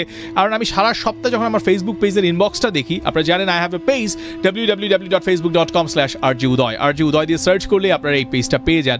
এবং এই পেজে কিন্তু আমি নানা রকমের কন্টেন্ট তৈরি করি আমার বন্ধুদের জন্য। স্পেশালি যে আজকে যে ভাইটার সাথে আমি এখন পরিচিত আপনাদেরকে করব, তার সাথেও আমি যখন অফেয়ারে কথা বলছিলাম, তিনিও আমাকে বললেন যে, আপনার এই ভিডিওগুলো আমি দেখি। তো এটা কিন্তু আমার অনেক বেশি ভালো লাগে। যখন কেউ বলে যে, আমি আপনার এই কন্টেন্টগুলো দেখি, আমার ভালো লাগে। কারণ আমার মূল উদ্দেশ্যটা হচ্ছে জাগো এফ এর যে শ্রোতারা, যাদের সাথে আমার হয়তো শুধুমাত্র বৃহস্পতিবারে ভূত স্টুডিওতে কিংবা শনিবার দিন রাতে যদি লাভ স্টোরিতে কথা হয়, এই দুটা দিন বাদে তো বাকি দিন কথা হচ্ছে না। তা আমার এই যে জাগো এফ এর এত এত শ্রোতা, তাদের সাথে কি আমার যোগাযোগ থাকবে না? কমিউনিকেশনের এই যুগে ডিজিটাল এই যুগে, তো ফেসবুক যেখানে আছে, সেখানে তো এটা হতেই পারে না। ফেসবুকে আমার যেহেতু পেজ আছে আর জি উদয় দিয়ে সার্চ করলে আপনারা পেয়ে যান। সেই পেজে যারা এখনও অবধি নাই, তাদেরকে আমি ইনভাইট করছি কানেক্টেড হন লাইক দেন ফলো দেন অ্যান্ড পেজের কন্টেন্ট দেখেন। কমেন্টে কমেন্ট করেন, শুধু ভিডিও দেখবেন না কমেন্ট করবেন। আর কোনো একটা ভিডিও ভালো লাগলে শেয়ার করবেন। সেম থিংস আমাদের জাগো এফ এর যে পেজটা আছে W W W dot Facebook dot com slash Jago F M এই পেজটাতে আপনারা লাইক দিয়ে থাকেন এটাতে ফলো দিয়ে রাখেন। আমরা প্রতিনিয়ত নতুন নতুন কন্টেন্ট আপলোড করছি। কন্টেন্টগুলো দেখেন দেখে ভালো লাগলে আমাদেরকে মতামত জানান। এটা আমাদেরকে অনেক বেশি অনুপ্রাণিত করে সামনের দিকে এগিয়ে যেতে। সো আমি অফিয়ারে যে ভাইটার সাথে পরিচিত হচ্ছিলাম কি নাম আপনার? মাহবুব আলম। মাহবুব আলম। আপনি কোথেকে এসেছেন? ঢাকা সাভার থেকে ভাই ঢাকা সাভার থেকে এসেছেন আমাদের এই শোগুলো দেখা হয়। হ্যাঁ ইনশাল্লাহ আমি প্রতিদিন এই বৃহস্পতিবারের অপেক্ষায় থাকি এবং আপনার বয়স না শুনলে ভালো লাগে না। এবং ফ্যামিলিকে সবাইকে নিয়ে অপেক্ষায় থাকি রাত দশটা কখন বাজবে আর কখন সেই ভূতের গল্প আমরা শুনব। এটা আমাদের অনেক ভালো লাগা একটা ব্যাপার। আপনি কি করেন? আমি হামিম গ্রুপে চাকরি করি। আসলে আমার ডিপার্টমেন্ট হলো ফরেন যারা আমাদের বাংলাদেশে আসে তাদেরকে গাইডেন্স দেওয়া যেটাকে বলে দুভাষী। আমি তাদেরকে সহায়তা করি। মাশাল্লাহ মাশাল্লাহ সো খুব ভালো লাগছে যে আজকে একজন বন্ধু রয়েছেন আমাদের সাথে। তিনি কিন্তু তার ব্যস্ততার মাঝখান থেকেও আমাদের জাগো এফএম এর সাথে কানেক্টেড হয়েছেন এবং তিনি তার পরিবার নিয়ে আমাদের অনুষ্ঠানগুলো শোনেন। So it's very important message যে পরিবার নিয়ে আসলে আমরা এখন হারিয়ে যাচ্ছি পরিবারগুলো বিচ্ছিন্ন হয়ে যাচ্ছে। সেই জায়গায় একটা পরিবার একসাথে হয়ে একটা রেডিও অনুষ্ঠান সেটা রেডিওতে শুনুক কিংবা ফেসবুকে দেখুক এই যে ব্যাপারটা এটা কিন্তু অনেক ভালো লাগার একটা ব্যাপার। আমাদেরকে অনেক অনেক বেশি আরও পজিটিভ মানে ভাইব দেয় যে ওকে আরও অনেক কিছু করতে হবে আরও ভালো শো করতে হবে রেডিওটাকে আরও চাঙা করতে হবে। এই ব্যাপারগুলো আমরা পাই এই মতামতগুলো থেকে। তো আমরা এখন ভাইয়ের কাছে আরেকবার চলে যেতে চাই। আপনার নামটা আরেকবার বলবেন। মাহবুব আলম। মাহবুব আলমের কাছে। আমরা আপনার কাছ থেকে পরপর বেশ কিছু ঘটনা শুনতে চাই। বলুন আপনি। বিসমিল্লাহ রহমান রাহিম। আমি সকল F M radio ninety four point ফোরের সকল শ্রোতাদের জানাই অভিনন্দন এবং মাহে রমজান মাস শ্যাম সাধনার মাস। আমিও রোজা রেখেছি, আপনারাও রোজা রাখেন। ইনশাল্লাহ আশা করি সবাই ভালো আছেন, পরিবারের সবাইকে নিয়ে। আমি সব সময় অপেক্ষা করি এই F M radio ninety four point four পয়েন্টের জন্য। আসলে আমার অনেক ইচ্ছা, আল্লাহ পাক ইচ্ছা পূরণও করেছে।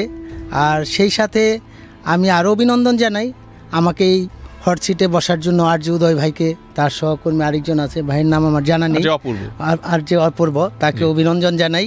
আর আমি মনে করব আমরা যারা এই পৃথিবীতে বেঁচে আছি এবং আল্লাপাক যতদিনে আমাদের হায়াত রাখে আমরা তো বই পুস্তক পড়ে জ্ঞান অর্জন করি অনেকটা জানি।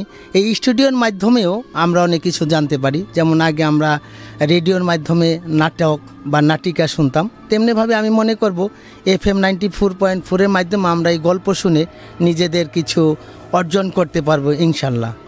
আমি আমার গল্পটা এখনই বলা শুরু করব, যেটা আমার জীবনের সাথে ঘটে যাওয়া। হয়তো অনেকে আমরা বিশ্বাস করি বা না করি যার সাথে ঘটেছে, সেই জিনিসটাকে বিশ্বাস করতে পেরেছে। আমার জীবনের সাথে ঘটে যাওয়া উনিশশো অষ্টাশি সনের ঘটনাটা, যে ভৌতিক ঘটনাটা, সেটা আমি এখন তুলে ধরব। আমি তখন ক্লাস নাইনে পড়ি। আমি আমার নানার বাড়িতে বেড়াইতে গিয়েছিলাম। আমার মানা, নানার বাড়িটা হলো মানিকগঞ্জ জেলায় সিঙ্গের থানায়, চান্দর ইউনুন গ্রামে। আসলে সে গ্রামটা একদম সুজলা, সুফলা, শস্য শ্যামলায় ঘেরা। আমরা গেলে নানার বাড়িতে অনেক খুশি হতাম এবং এখন তো আমরা অনেক স্টাইল হয়ে গেছি, পায়ে জুতা ছাড়া হাঁটি না। সেখানে একদম মেটু পথ ধরে হাঁটতাম, বিভিন্ন জমিতে চাষাবাদ করত, রাখালদের সাথে, গরুর পিছনে থেকে থেকেই তাদের সাথে সহযোগিতা করতাম।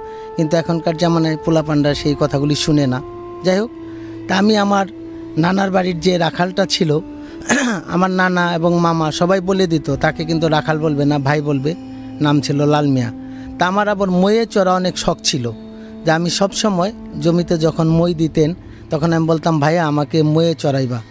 আর অনেক রাতে ঠিক ফজরের নামাজের সময় রাখালরা সাধারণত জমি চাষ করতে যেত, কারণ ওই সময়টা রোদের তাপমাত্রা কম থাকতো, যার জন্য তার ওই ভুরের সময় জমিতে চাষ করতে যেত। বাট আমি ওই লাল মিয়া ভাইয়ের আশায় সবসময় থাকতাম। আমার সাথে যেভাবে ঘটনাটা ঘটলো, ওই দিন ঠিক রাত্র পুনে তিনটার সময় এই লাল মিয়া ভাইয়ের কণ্ঠে আমাকে ডাকলেন, মাহবুব, চলো আমরা জমিতে যাব। উঠো। একটা ডাকি দিয়েছেন, বাট আমি ওই একটা ডাকেই সারা দিয়ে আমি আমার ওই পেনটা নিয়ে, জামাটা নিয়ে বের হয়ে গেলাম। কিন্তু আমি যখনই হাঁটতেছিলাম, সামনের দিকে যাচ্ছিলাম লাল মিয়া ভাইয়ের দূরত্বটা আমার থেকে অনেক বেশি। বাট বোঝা যাচ্ছে যে একজন মানুষ আমার আগে চলে যাচ্ছে বাট সে লাল মিয়া ভাই কিনা সেটা আমি নির্ধারণ করতে পারতেছি না। অনেক দূরে যাচ্ছি আর আমি বলতেছিলাম ফিস ফিস করে যে, ভাইয়া, তুমি তো অনেক দূরে যাচ্ছ, তোমার গরুও দেখছি না, জোয়ালও দেখছি না ময়ও দেখছি না, আমাকে কোথায় নিয়ে যাচ্ছ? কিন্তু সে আমার কথায় কোনো সাড়া দিচ্ছে না। আমি তার পিছনে পিছনেই হেঁটে যাচ্ছি হেঁটে যাচ্ছি হেঁটে যাচ্ছি হেঁটে যাচ্ছি।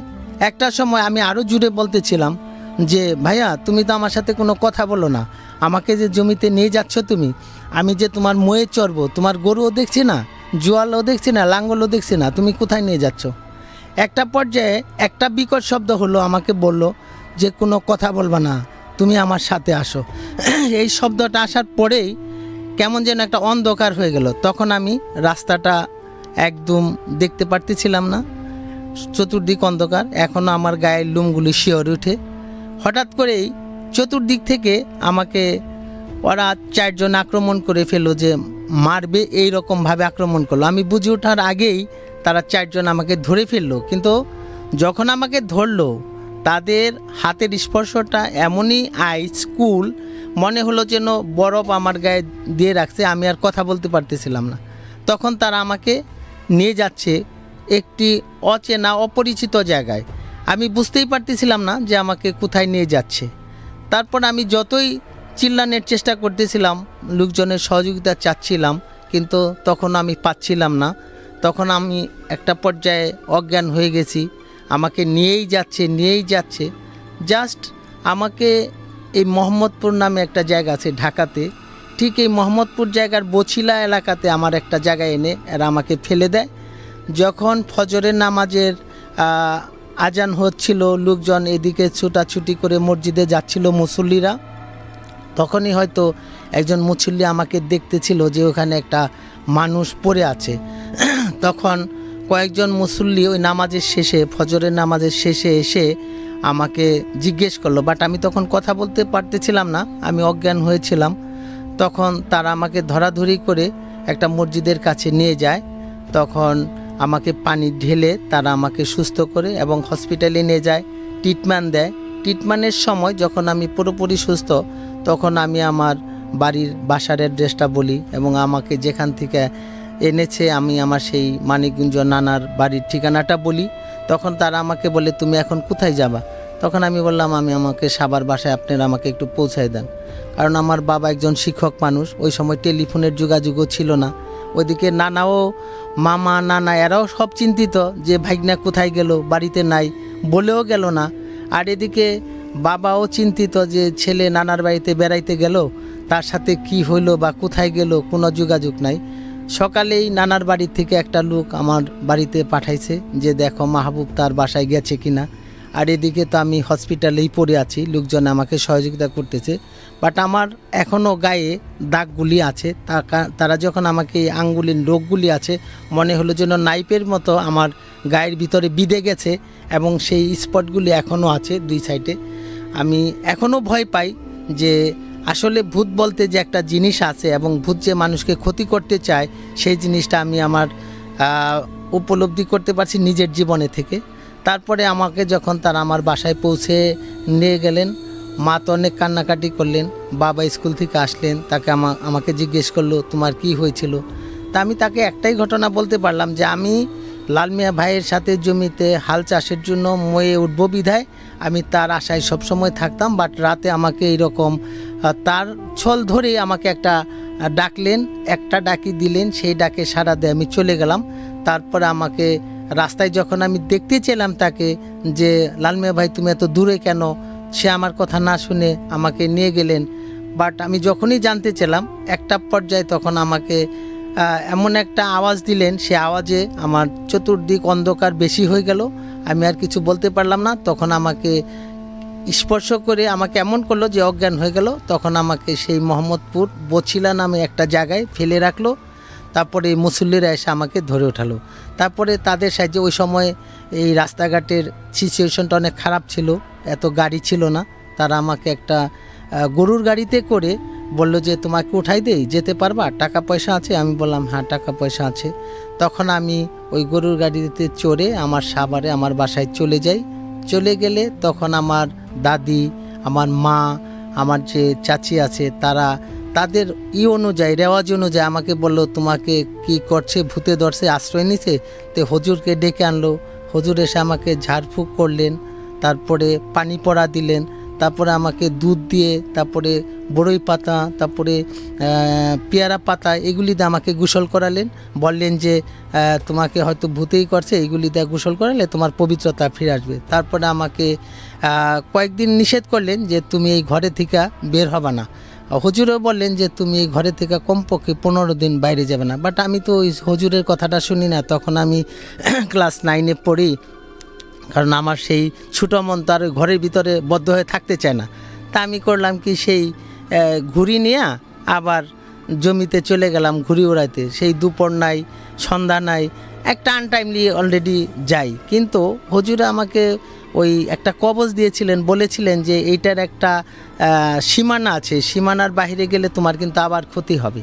তা আমি ওই জিনিসটাকে অ্যাভয়েড করার কারণে আমার সেকেন্ড টাইম আবার সেই ক্ষতিটা হয়ে গেল। ঠিক আমি ঘুড়ি উড়াইতেছিলাম, আমার পিছন থেকে কে যেন এসে আমাকে ঘুড়ি যেমন বাতাস উড়ে যায়, আমিও সেরকম উঠতেছি আমি বুঝতে পারতেছি না যে আমার পাটা কিন্তু মাটিতে লেগে নাই, আমি মাটির থেকে উপরে চলে যাচ্ছি। আমি যতই চিল্লাই, যত কিছুই করি, কোনো কাজ হচ্ছিল না। বাট ওই সময় আমাকে করেছিল, আমার হেমাদপুরে একটা জায়গা আছে, আমার সাভারের থেকে চার কিলো দূরে। সেই হেমাদপুরে চার রাস্তা তেঁতুল ঝুড়ে একটা জায়গা আছে, সেই জায়গায় একটা বড় বট গাছ আছিল সেই বট গাছের উপরে আমাকে নিয়ে বসায় রাখছে। কিন্তু আমি কাউকে দেখি না বাট আমাকে যে ধরে নিয়েছে, সেই জিনিসটা আমি অনুভূতি করতে পারি যে কেউ আমাকে ধরেছে পিছন থেকে এবং আমাকে শূন্য করে নিয়ে যাচ্ছে, সেটাও আমি বুঝতে পেরেছি।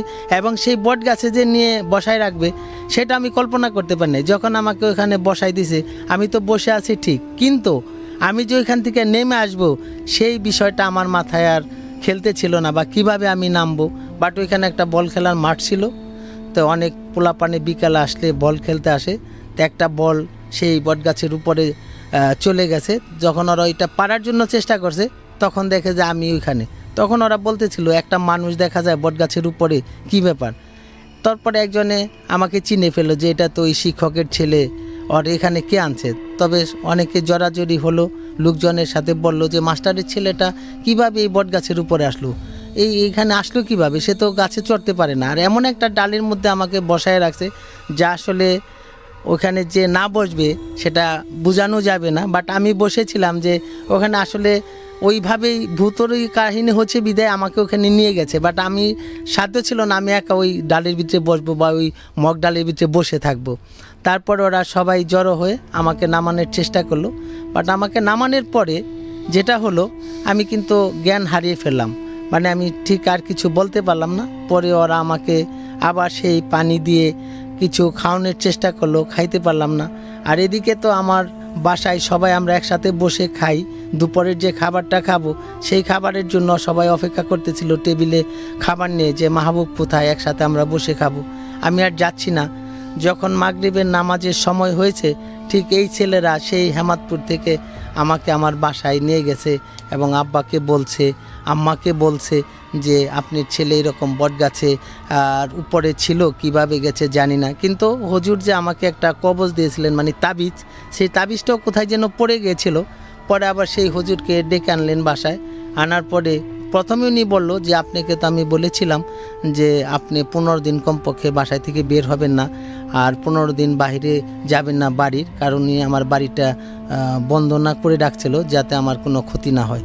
এই ছিল হলো আমার জীবনের নিজের সাথে ঘটে যাওয়া প্রথম ঘটনা। দুর্দান্ত একটা ঘটনা শুনছিলাম। আমরা নিশ্চয়ই আরও এরকম ঘটনাগুলো শুনব। তার আগে বন্ধু, আপনাদেরকে জানিয়ে রাখি, প্রাণ পটাটা, বিস্কিট না চিপস, এটা নিয়ে অনেক রকমের কনফিউশন কিন্তু কাজ করে আমাদের মধ্যে। মাঝে মধ্যে এটাকে চিপস মনে হয় ক্রিসপিনেসের কারণে, আবার বাইট দেওয়ার পরে মনে হয় এটা বিস্কিট। যারা এখনও ট্রাই করেন নাই, খেয়ে বুঝে নেবেন প্রাণ পটাটা আসলে চিপস না বিস্কিট। আগামী পর্বে যদি আপনি আমার এই ভাইয়ের মতো রেডিওতে আসতে চান, বসতে চান, বলতে চান আপনার জীবনের ভৌতিক এক্সপিরিয়েন্সগুলো তাহলে মোবাইলের ম্যাসঅপশনে চলে যান গিয়ে টাইপ করে ফেলুন শুরুতে আর বিএস আর বিএসটা একসাথে লিখবেন স্পেস দিয়ে নিজের নাম লিখবেন স্পেস নিজের লোকেশন টাইপ করবেন। আর একটা স্পেস দিয়ে অবশ্যই আপনার প্রফেশন টাইপ করবেন। মানে পেশাগতভাবে আপনি কি করেন? হতে পারে আপনি একজন চাকুরিজীবী, হতে পারেন আপনি একজন স্টুডেন্ট হতে পারেন আপনি একজন ড্রাইভার হতে পারেন আপনি একজন হাউস ওয়াইফ সো আপনি আপনার পেশাটা লিখবেন।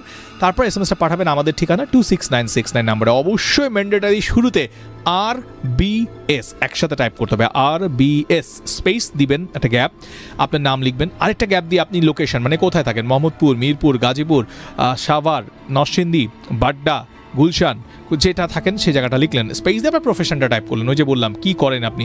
লিখে এবার পাঠাই দেন আমাদেরকে দুই ছয় নয় ছয় নয় নাম্বারে সো আমাদের টিম মেম্বাররা আপনার সাথে যোগাযোগ করবে। আপনার নিজের মোবাইল থেকে রেজিস্ট্রেশন করলে আমরা কিন্তু দেখতে পাই কোন নাম্বার থেকে এস এম এসটা আসছে। ওই নাম্বারে আমরা যোগাযোগ করব ফোনে অ্যান্ড সেখানে নিশ্চয়ই আপনার সাথে ফোনে প্রথমে যোগাযোগ করে গল্পগুলো ফোনে শোনা হবে। সেটা যদি প্রচারযোগ্য হয়, অবশ্যই আপনাকে আগামী পর্বে আমাদের এখানে ইনভাইট করা হবে। সো আমরা ভাই পরের ঘটনাগুলোতে চলে যাই। পরপর আমরা বেশ কিছু ঘটনা শুনব। আমি এখন আমার জীবনের সাথে দ্বিতীয় ঘটনাটা তুলে ধরছি। F M radio ninety four point ফোরের মাধ্যমে।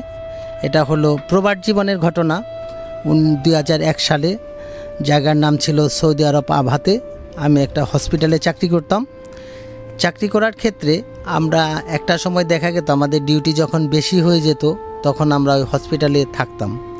আমরা যে সেক্টরটায় থাকতাম, সেখানে হলো মৃতদেহগুলি রাখা হতো ওই হসপিটালের ওই অংশটার মধ্যে। আমরা অনেক সময় দেখা গেছে রাস্তায় অ্যাক্সিডেন্ট হয়েছে, সেই লাশটা সেখানে রেখে গেছে বা পরিচয় পাচ্ছে না পাসপোর্ট খুঁজে পাচ্ছে না, তারপরে তার কোনো আত্মীয় স্বজন খুঁজে পাচ্ছে না।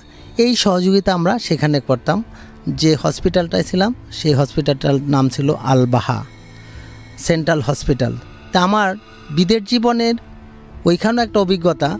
আসলে ভূতের গল্প বা ভূত সম্পর্কে আমরা অনেক শুনতাম, গ্রামে ভূত আছে, জিন আছে পেতনি আছে বাট আমি পরোক্ষভাবে নিজের সাথেই ঘটে গেছে, যার জন্য আমি আমার অভিজ্ঞতাটা পেয়ে গেছি যে আসলে ভূত বলতে একটা জিনিস আছে। ভূত বলতে মানে খারাপ জিন।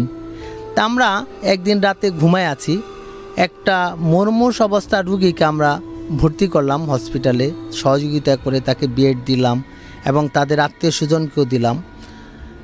রাত্র দেড়টা বাজে এসে তার আত্মীয় বলতেছে যে আমাদের রুগীটা নাই। কোথায় গেছে? চারজন লোক এসে নিয়ে গেছে। কীরকম লোক ছিল? বলল যে সাদা কাপড় পরা চারজন লোক এসে তাকে বেড থেকে তুলে নিয়ে গেছে। আমরা তো অনেক চিন্তায়, কারণ আমরা যখন একটা লোককে হসপিটালে অ্যাডমিট করাই, তখন রেজিস্টার্ট করানো হয় তার প- পুরোপূর্ণ অ্যাড্রেসটা আমরা লিখে রাখি এবং ওই দায়িত্বটা আমার থাকে এবং প্রশাসন থেকে আমাকে তখন জিজ্ঞেস করে যে আপনার দায়িত্বটা অবহেলা করলেন কেন? সেই লোকটাকে পেলেন না কেন? তা আমরা যে রুমটায় থাকতাম, সেই রুমের পাশেই কিন্তু ওই মরদেহগুলি রাখা হতো। কিছুক্ষণ পরে আমরা একটা আওয়াজ পাচ্ছিলাম, যেমন পাটকাঠি বা বাঁশ ভাঙলে যেরকম একটা চটমট আওয়াজ হয়, সেরকম আওয়াজ পাচ্ছিলাম যে আসলে কি হচ্ছে।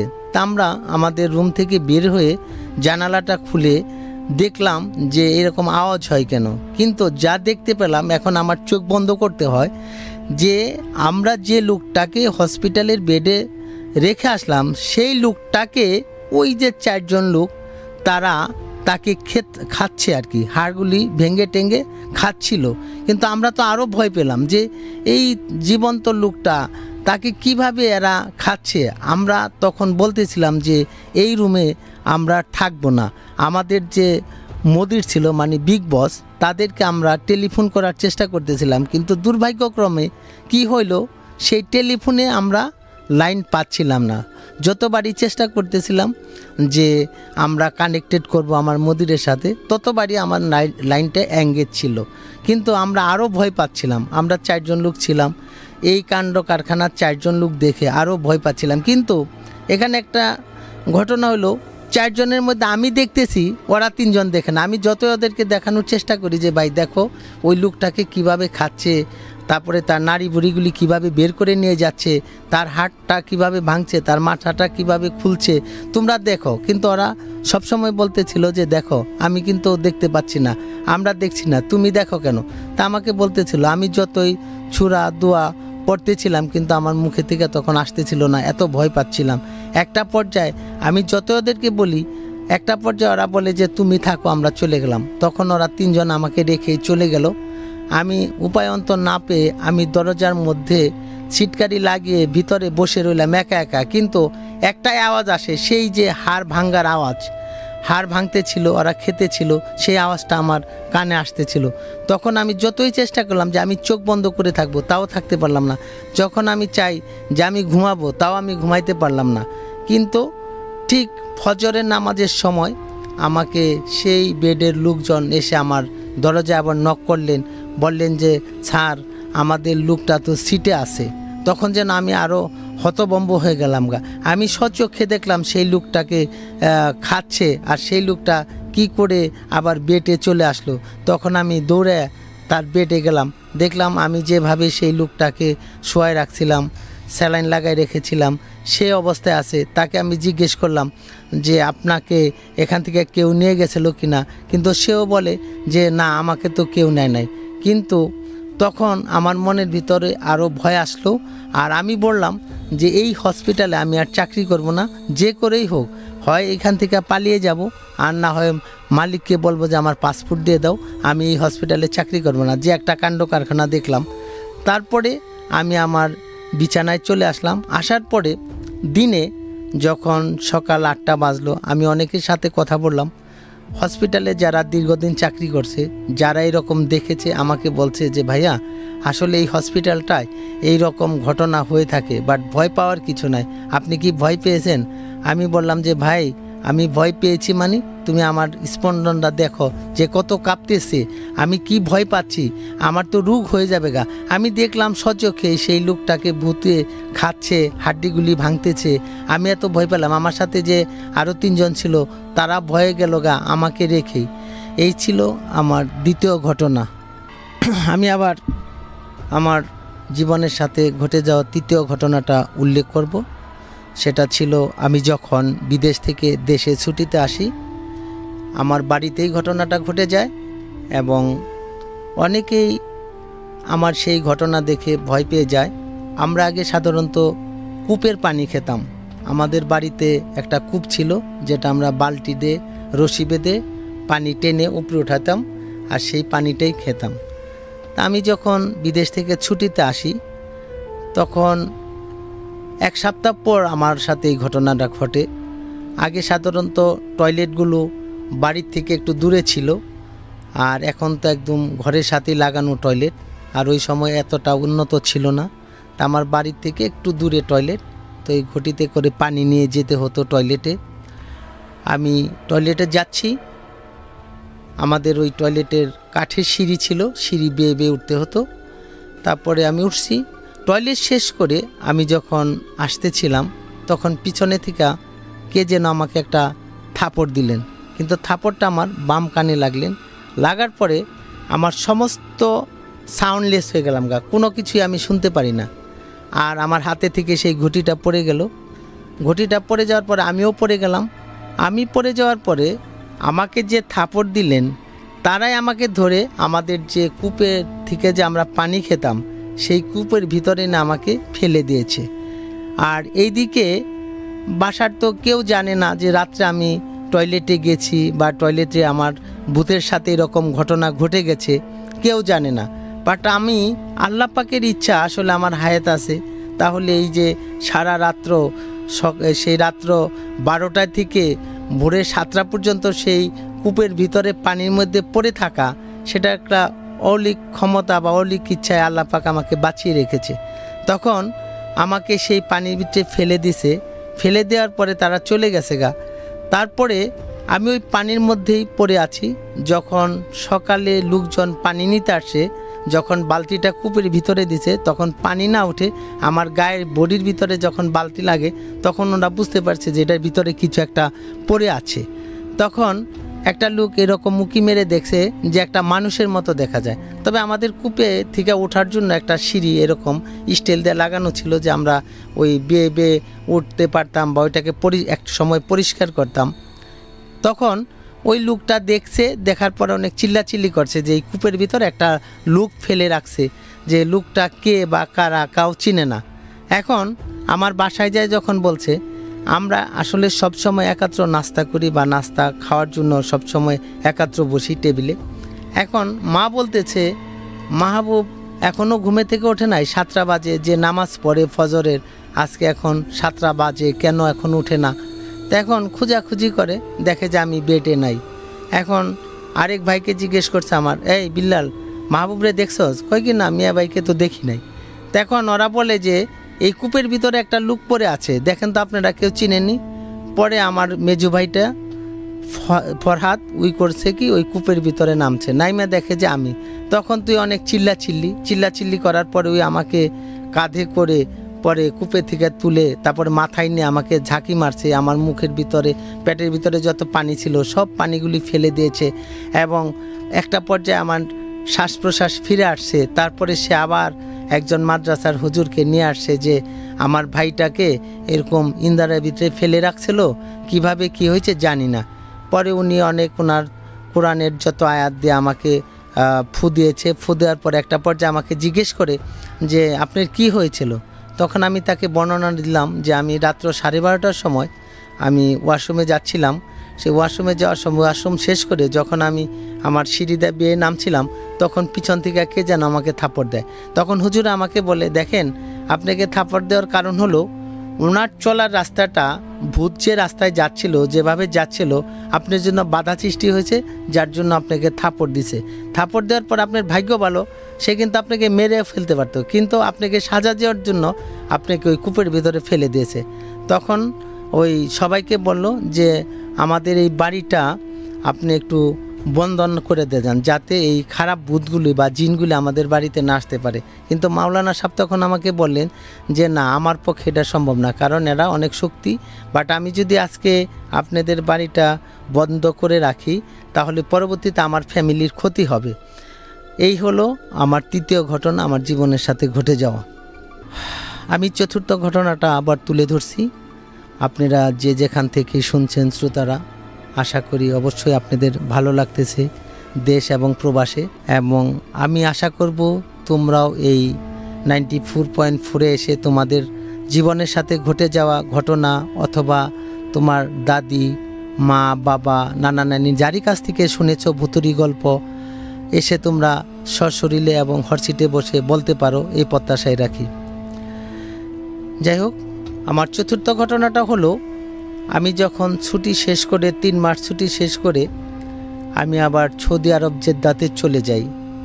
জেদ্দার জায়গাটার নাম হলো আল জুবাইল। তে আমি আর সেই আগের ক্যাম্পে গেলাম না, আমি আল জুবাইল চলে গেলাম। আমার ক্যাম্পটা হলো চোদ্দ নাম্বার। সেখানে প্রায় আট হাজার লোক আমরা ওখানে বসবাস করতাম এবং আরামকো কোম্পানিতে আমরা চাকরি করতাম। সেই কোম্পানির সুপারভাইজার ছিলাম আমি। তা আরামকো কোম্পানির আমাদের শিফটি বাই শিফটি ডিউটি হতো। আসলে সৌদি আরবটা হলো এমন একটা দেশ যে মরুভূমি আর মরুভূমি। গরমের দিনে প্রচুর গরম, ঠান্ডার দিনে প্রচুর ঠান্ডা।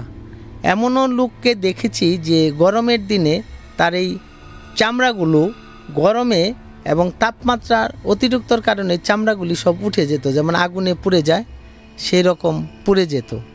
তা আমরা একটা ক্যান্টিনে খেতে যেতাম। আমাদের কোম্পানির তরফ থেকে আমাদের খাবার ছিল এবং একটা টাইম শিডিউল ছিল যে সন্ধ্যার সময় খাবার ছিল সাতটায়। সকালের খাবার ছিল হলো ফজরের নামাজ পড়ে আর রাতের খাবার ছিল হলো রাত্র দশটায়। তা আমরা এভাবেই নিয়ম মাফিক খেতে যেতাম। আর খেতে গেলে আমরা যারা বাঙালি আছি, তাদেরকে পাশাপাশি যারা আছে, তাদেরকে ডেকে নিয়ে যেতাম। কিন্তু এই মরুভূমিতেও যে ভূত এবং জিন বসবাস করে, সেটা আসলে আমরা বুঝতে পারতাম না যে আসলে এটা তো মরুভূমির দেশ, এখানে পাক পবিত্র দেশ, এখানে আমাদের হজুর পাক সাল্লাহ আসলাম জন্মগ্রহণ করেছেন এই সৌদি আরবে। এখন এই ভূত আমাদের যে পিছু নিয়েছে, এটা আমরা কখনো কল্পনা করতে পারিনি যে আমাদের পিছু নিয়েছে। তা আমাদের অনেক দিন ধরেই সে আমাদেরকে ক্ষতি করার চেষ্টা করে। আমরা যে রুমটা ঘুমাই, সেই রুমটায় মাঝে মাঝে ঢিল মারে। অনেক রাতে, যখন রাত্র বাজে তিনটা, পুনে তিনটা, এই সময়টার ভিতরে ওই আমাদের গ্লাসের মধ্যে বিকটভাবে ঢিল মারে, আমরা অনেক ভয় পাই বা আমরা বুঝি যে হয়তো কেউ দুষ্টামি করে। কিন্তু যখন আমরা গেট খুলে যাই, তখন কিন্তু সেই ভূতটা বা কোনো লুক আমরা দেখতে পাই না। তারপর আবার আমরা শুয়ে পড়ি। একদিন আমি ঠিক মাগরিবের নামাজ পড়ে মসজিদে থেকে আমি যখন আমার রুমের দিকে আসতেছিলাম, ওই সময় আমাকে সে অ্যাটাক করে। অ্যাটাক করেই বলে, পিছনে থেকে একটা আওয়াজই হয়েছে যে তোমরা যে রুমটায় থাকো, ওই আশেপাশে আমরা থাকি, তোমরা নামাজ পড়ো, আমাদের অনেক ডিস্টার্ব হয়, তোমরা ওই রুমটা ছেড়ে দাও। এই বলেই আমাকে অ্যাটাক করে। অ্যাটাক করার পরে আমি ওই দিনকে ছিলাম একা। প্রতিদিন আমরা সাধারণত আমাদের কলিগকে নিয়ে মসজিদে যাই। এবং একসাথে আসি। কিন্তু ওই দিনকার দুর্ভাগ্যক্রমে আমি একা, একাই চলে গেছি, একাই নামাজ পড়ে চলে আসছি। যখন আসতেছিলাম, তখনই আমাকে অ্যাটাক করে। অ্যাটাক করার পরে আমি আর কোনো কথা বলতে পারি না। কথা না বলার পরে আমাকে আমাদের ওই ক্যাম্পের ভিতরে একটা ওয়্যার হাউস আছে, ঠিক আমার রুমের কাছ থেকে প্রায় সাত কিলো দূরে। ওই ওয়্যার হাউসের পিছনে একটা লেক আছে, পানি জমে থাকে, পানি। ঠিক লেকের ওইখানে নিয়ে আমার বডির অর্ধেকটা রেখে রেখেছে লেকের পানিতে আর মাথাটা রেখে দিছে আমার একদম পানির উপরে। কিন্তু যখন এশার নামাজ হইল, সময় হয়ে গেল, আমার কলিকরা যখন আসলো, তখন আমাকে রুমে দেখল না, মসজিদে দেখল না। তখন ওরা খুঁজাখুঁজি করতেছিল যে আমি হয়তো পার্ট টাইম জব করতে গেলাম কিনা। বাট ওরা জানে যে আমি পার্ট টাইম জব করি না। তারপরেও ওরা অনেক খোঁজাখুঁজি করল, খাবারের সময় আমাকে খুঁজলো, পেল না। আমি তো ওখানে পড়েই আছি। আমি ওখানে তিন দিন পড়েছিলাম কিন্তু এটাও আল্লাহ পাকের ইচ্ছা যে তিন দিন একটা মানুষ এই অতিরিক্ত তাপমাত্রা না খেয়ে আল্লাহ পাক বাঁচিয়ে রেখেছে, এটাও একটা কুদরতি। তা আমি ওখানে পড়ে রয়েছি ঠিক তিন দিন পরে কোনো এক লোক ক্যাম্পের ওই লেকটা পরিষ্কার করতে যাচ্ছিল। তখন দেখছে যে একজন লোক ওখানে পড়ে আছে। কিন্তু বিদেশের অনেকগুলো নিয়ম নীতি আছে। যেমন একটা লোক অসুস্থ হলে পুলিশ ছাড়া ধরতে পারবে না। যদি মৃত্যু ডেড বডি থাকে, তাকেও পুলিশ ছাড়া ধরতে পারবে না। আবার একই রুমে ঘুমাচ্ছে, সে যদি কোনো অসুবিধা হয়, তাও পুলিশকে খবর দিয়ে আনার পরে তার ব্যবস্থা নিতে হবে। এখন ওই লোকটা আমাকে দেখে দৌড়ায় চলে গেছে ক্যাম্পে। ক্যাম্পে যে, ক্যাম্পের যে ইনচার্জ আছে, ইন্ডিয়ান তাকে বলছে যে, স্যার, ওইখানে একটা লুক হয়তো মরে আছে অথবা তাজা আছে, আমি জানি না বাট একটা লুক পড়ে আছে। এই ক্যাম্পের ইনচার্জ আমার রুমে যে তিন দিন আমাকে খুঁজছে, যেহেতু আমি ডিউটিতে যাই না, কোম্পানির একটা রুল আছে, প্রতিদিন আমরা একটা কার্ড পাঞ্চ করি এবং সেই কার্ডও পাঞ্চ করি না, আমি ডিউটিতেও যাই না তাহলে আমি তো স্যালারিটা পাবো না। তারপরে ওই ক্যাম্পের ইনচার্জটা আসছে, আইসা দেখে যে, এই লোকটা তখন আমাকে দেখে বলে যে উনি তো এক নাম্বার বিল্ডিংয়ের এক নাম্বার রুমে থাকে লোকটা। ওই তো সুপারভাইজার আমাদের লাইনে। তারপরে আমাকে ধরে তারা আমাকে সেই জুবাইল শহরে একটা হসপিটালে নিয়ে যায়। হসপিটালে নিয়ে যাওয়ার পরে ডাক্তাররা আমাকে অনেকগুলি পরীক্ষা নিরীক্ষা করে, পালস চেক করে, তারপরে আমার সবই ঠিক থাকে, বাট আমি কথা বলতে পারি না। ওইখানে তিন দিন কথা বলা ছাড়া, হসপিটালে তিন দিন কথা বলা ছাড়া, তারপরে ডাক্তাররা একটা বুট বসল আল্লাহর ইচ্ছায় চার দিনের দিন হঠাৎ করেই আমি বলতেছিলাম যে আমি হসপিটালে কেন? তখন নার্সরা আমাকে বলেছিল, আপনাকে তো আরও তিন দিন আগে আপনাকে এখানে ভর্তি করছে। আপনার কি হয়েছিল? আমি বলি, আমি তো বলতে পারি না। আমি কি যে হয়েছিল বাট আমি জানি যে আমি এশার নামাজ পড়তে গিয়েছিলাম। এশার নামাজ পড়ে যখন আমি বাসায় ফিরতেছিলাম, পিছনে থেকে কে জানে আমাকে ধরে নিয়ে গেছে। আর একটা আওয়াজ হচ্ছিল যে আমরা যে রুমটায় থাকি, সেই রুমটার আশেপাশে যে ভূত আছে মানে জিন আছে, খারাপ জিন বলে আমরা ভূত বলি, এরা থাকে। আমাদের ওই রুমটা ছেড়ে দিতে বলছিল। এইটাই আমি বলতে পারব। তারপরে আমি আর বলতে পারব না। তারপরে আমার ওই ক্যাম্পিং চার্চ এসে বলল যে, মাহবুব, তুমি তিন দিন ওখানে কীভাবে রইলা? তোমার বডিটা তো কিছু অংশ পানিতে, কিছু অংশ টানে। আমি বলি, আসলে বস, আমি বলতে পারব না। আল্লাহ পাক ভালো জানে। তারপরে আমি ওনাকে বললাম যে, বস, আপনারা আমাকে কি এই রুমটা চেঞ্জ করে দিতে পারেন? তা উনি বলল, কেন? আমি বললাম যে, আমরা প্রতিদিন একটা সাপার ফিল করতেছি ব্যাড সাপার, যেটা হলো আমাদের জানালার গ্লাসের ভিতরে রাত্র সাড়ে তিনটা, পুনে তিনটার সময় কে যেন ঢিল মারে, বের হয়ে কিছু দেখি না। সেই ঘটনাটাকে প্রতিবাদ করার জন্য আমি বের হতাম। কিন্তু হঠাৎ করেই তারাই আমাকে এই জিনিসটা করল যে, আমি এশার নামাজ পড়ে আসতেছিলাম। তখন আমাকে পিছন থেকে আক্রমণ করে সেই লেকের পাড়ে আমাকে নিয়ে যায়। তারপরে আমি আর কিছু বলতে পারব না। এই ছিল আমার চতুর্থ ঘটনা। অনেক অনেক ধন্যবাদ। আমরা কথা বলছিলাম আমাদের দ্বিতীয় অতিথির সাথে, শুনলাম বেশ কিছু অভিজ্ঞতার কথা। আমরা আমাদের আজকের এপিসোডে আরও একজন গেস্টের সাথে কথা বলব। তার কাছ থেকেও বেশ কিছু অভিজ্ঞতা শুনব। বাট রাইট নাও একটা ছোট্ট বিরতিতে যাব আমরা। বিরতির পর যখন ব্যাক করব তখন আজকের অনুষ্ঠানের সর্বশেষ অতিথির কাছ থেকে আমরা বেশ কিছু ঘটনা শোনার চেষ্টা করব। কোথাও যাবেন না থাকুন Jago F M ninety four point ফোরে আর জি উদয়ের সাথে ভূত স্টুডিওতে। হ্যালো গাইস দিস রাফসান ছোট ভাই। আমি নাকি সবকিছু রিভিউ করতে পারলেও এই বিস্কিটটা নাকি রিভিউ করতে পারব না। স্পাইসি এন্ড ক্রিস্পি তাহলে তো এটা চিপস ব্রো টেক্সচারটা একটু ডিফারেন্ট এটা তাহলে বিস্কিট নো ব্রো এটা চিপস এটা বিস্কিট এটা চিপস এটা বিস্কিট এটা চিপস ব্রো বাছাই করা আলুর সাথে স্পাইসি সিজনিং এর টুইস্টে এলো প্রাণ পতাটা। গাইস থামো। এটা চিপস নাকি বিস্কিট কে বুঝে নাও। হ্যালো গাইস দিস রাফসান ছোট ভাই। আমি নাকি সবকিছু রিভিউ করতে পারলেও এই বিস্কিটটা নাকি রিভিউ করতে পারব না। স্পাইসি এন্ড ক্রিস্পি তাহলে তো এটা চিপস ব্রো টেক্সচারটা একটু ডিফারেন্ট এটা তাহলে বিস্কিট নো ব্রো এটা চিপস এটা বিস্কিট এটা চিপস এটা বিস্কিট এটা চিপস ব্রো বাছাই করা আলু সাথে স্পাইসি সিজনিং এর টুইস্ট এলো প্রাণ পতাটা গাইস থামো। এটা চিপস নাকি বিস্কিট কে বুঝে নাও। বিরতির পর আমরা আবারও ফিরে এলাম Jago F M ninety four point ফোরে আমি আর উদয় রয়েছি আপনার সাথে। ভূত স্টুডিও ব্রট বাই প্রাণ পটাটা নিয়ে। এক্স্যাক্টলি এই মুহূর্তে আমার সাথে আজকের অনুষ্ঠানের সর্বশেষ যে গেস্ট তিনিও কিন্তু হাজির হয়ে গেছেন। সো আজকে আমরা বেশ কিছু ভৌতিক ঘটনা কিন্তু ইতিমধ্যে শুনে ফেলেছি। আপনাদের কাছেও যদি এই ধরনের ভৌতিক অভিজ্ঞতা থেকে থাকে, আর আগামী পর্বে যদি রেডিওতে এসে আপনি বলতে চান সেই সমস্ত অভিজ্ঞতাগুলো, তাহলে কি করবেন? মোবাইলের ম্যাসেপশনে চলে যাবেন। গিয়ে ট্যাপ করে ফেলবেন শুরুতে আর বিএস স্পেস নিজের নাম, নিজের লোকেশন আর প্রফেশন লিখে পাঠাবেন আমাকে two six nine six nine এই নাম্বারে আমি আবারও বলছি যারা আগামী পর্বে রেডিওতে এসে নিজের জীবনের ভৌতিক এক্সপিরিয়েন্সটা বলতে চান তারা মোবাইলের ম্যাসেপশনে চলে যাবেন গিয়ে ট্যাপ করবেন আর বিএস স্পেস নিজের নাম নিজের লোকেশন আর প্রফেশন লিখে পাঠাবেন two six nine six nine এই নাম্বারে। চলুন আমরা এবার আমাদের আজকের অনুষ্ঠানে সর্বশেষ অতিথির সাথে যুক্ত হই। আসসালামু আলাইকুম। ওয়ালাইকুম আসসালাম। কি নাম আপনার? আবদুল্লাহ শাওন। শাওন কোথেকে আসছেন? আমি নতুন বাজার জামিয়া সাইদিয়া কারিয়া মাদ্রাসা থেকে আসছি। মাদ্রাসায় পড়াশোনা করছেন কিসে পড়ছেন? এই বছর হেদাতুনাহু ওকে মাইকের আরও কাছে চলে আসেন তাহলে জোরে কথা বলতে হবে সবাই শুনতে পারবে আপনাকে হ্যাঁ? তো আপনার কাছে অনেকগুলো ঘটনা আছে আমি শুনেছি আমরা এক এক করে প্রত্যেকটা ঘটনা শুনতে চাই। আপনি আমাদের বন্ধুদের জন্য গল্পগুলো বলতে পারেন বলেন। প্রথম ঘটনা এটা হয় আজ থেকে পাঁচ বছর আগে। আচ্ছা। তখন আমরা থাকতাম গাজীপুর।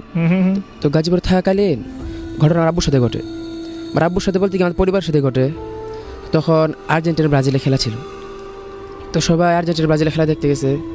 আমার আম্মু তখন ছিল প্রেগনেন্ট তিনি ঘরে শুয়েছিলেন। তো হঠাৎ আমার আব্বু রুম থেকে বেরিয়ে চলে আসে। চলে আসার পর কিছুক্ষণ পর আমরা, আমার ঘর থেকে কিছু চিল্লাপালা আবার শুনতে পাই আর কি। তো সব বাড়ির সবাই আমাদের ঘরে যায়। যাই দেখে আমার আম্মু কান্না করতেছে। জিজ্ঞাসা করল, কি হয়েছে?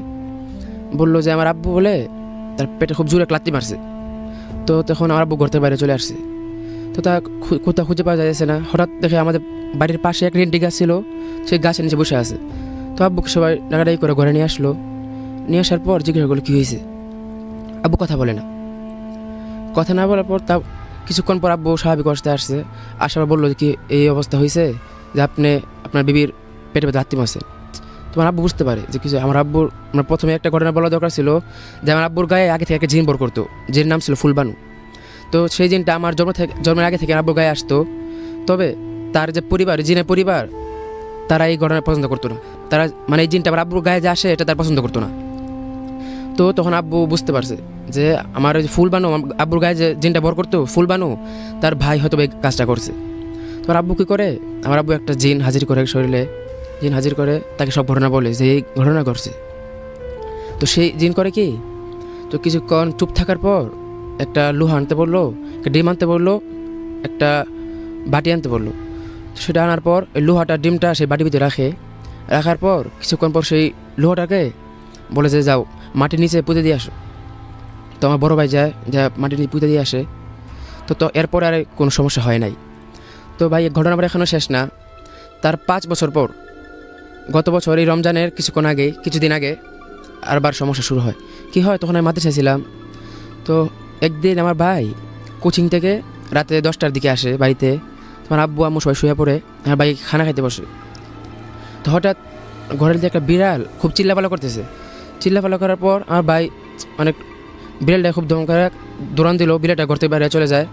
এর কিছুক্ষণ পর দরজার দিক থেকে কি একটা সাদা মানে কোনো মানুষের ছবি না, একটা অবয়ব সাদা অবয়ব কি যে ভাই দিয়ে তাকাই আছে। তখন ভাই ভয় পেয়ে যায়। ভয় পাওয়ার পর আমার ভাই কী করে? আমার আব্বুকে ডাক দেয়। আব্বু দেখো তো দরজায় কী জানে দাঁড়ায় আছে। তো আব্বু ঘুম থেকে উঠে দরজা যায় যাই দেখো কিছু নাই তো। তো আমার আব্বু তখন জ্বর থেকে ফিরে আসে। ফিরে আসার পর যখন আমাদের ঘরে ঢুকবে, এমন সময় আমার আব্বু সেসলি হয়ে পড়ে যায়, অজ্ঞান হয়ে পড়ে যায়।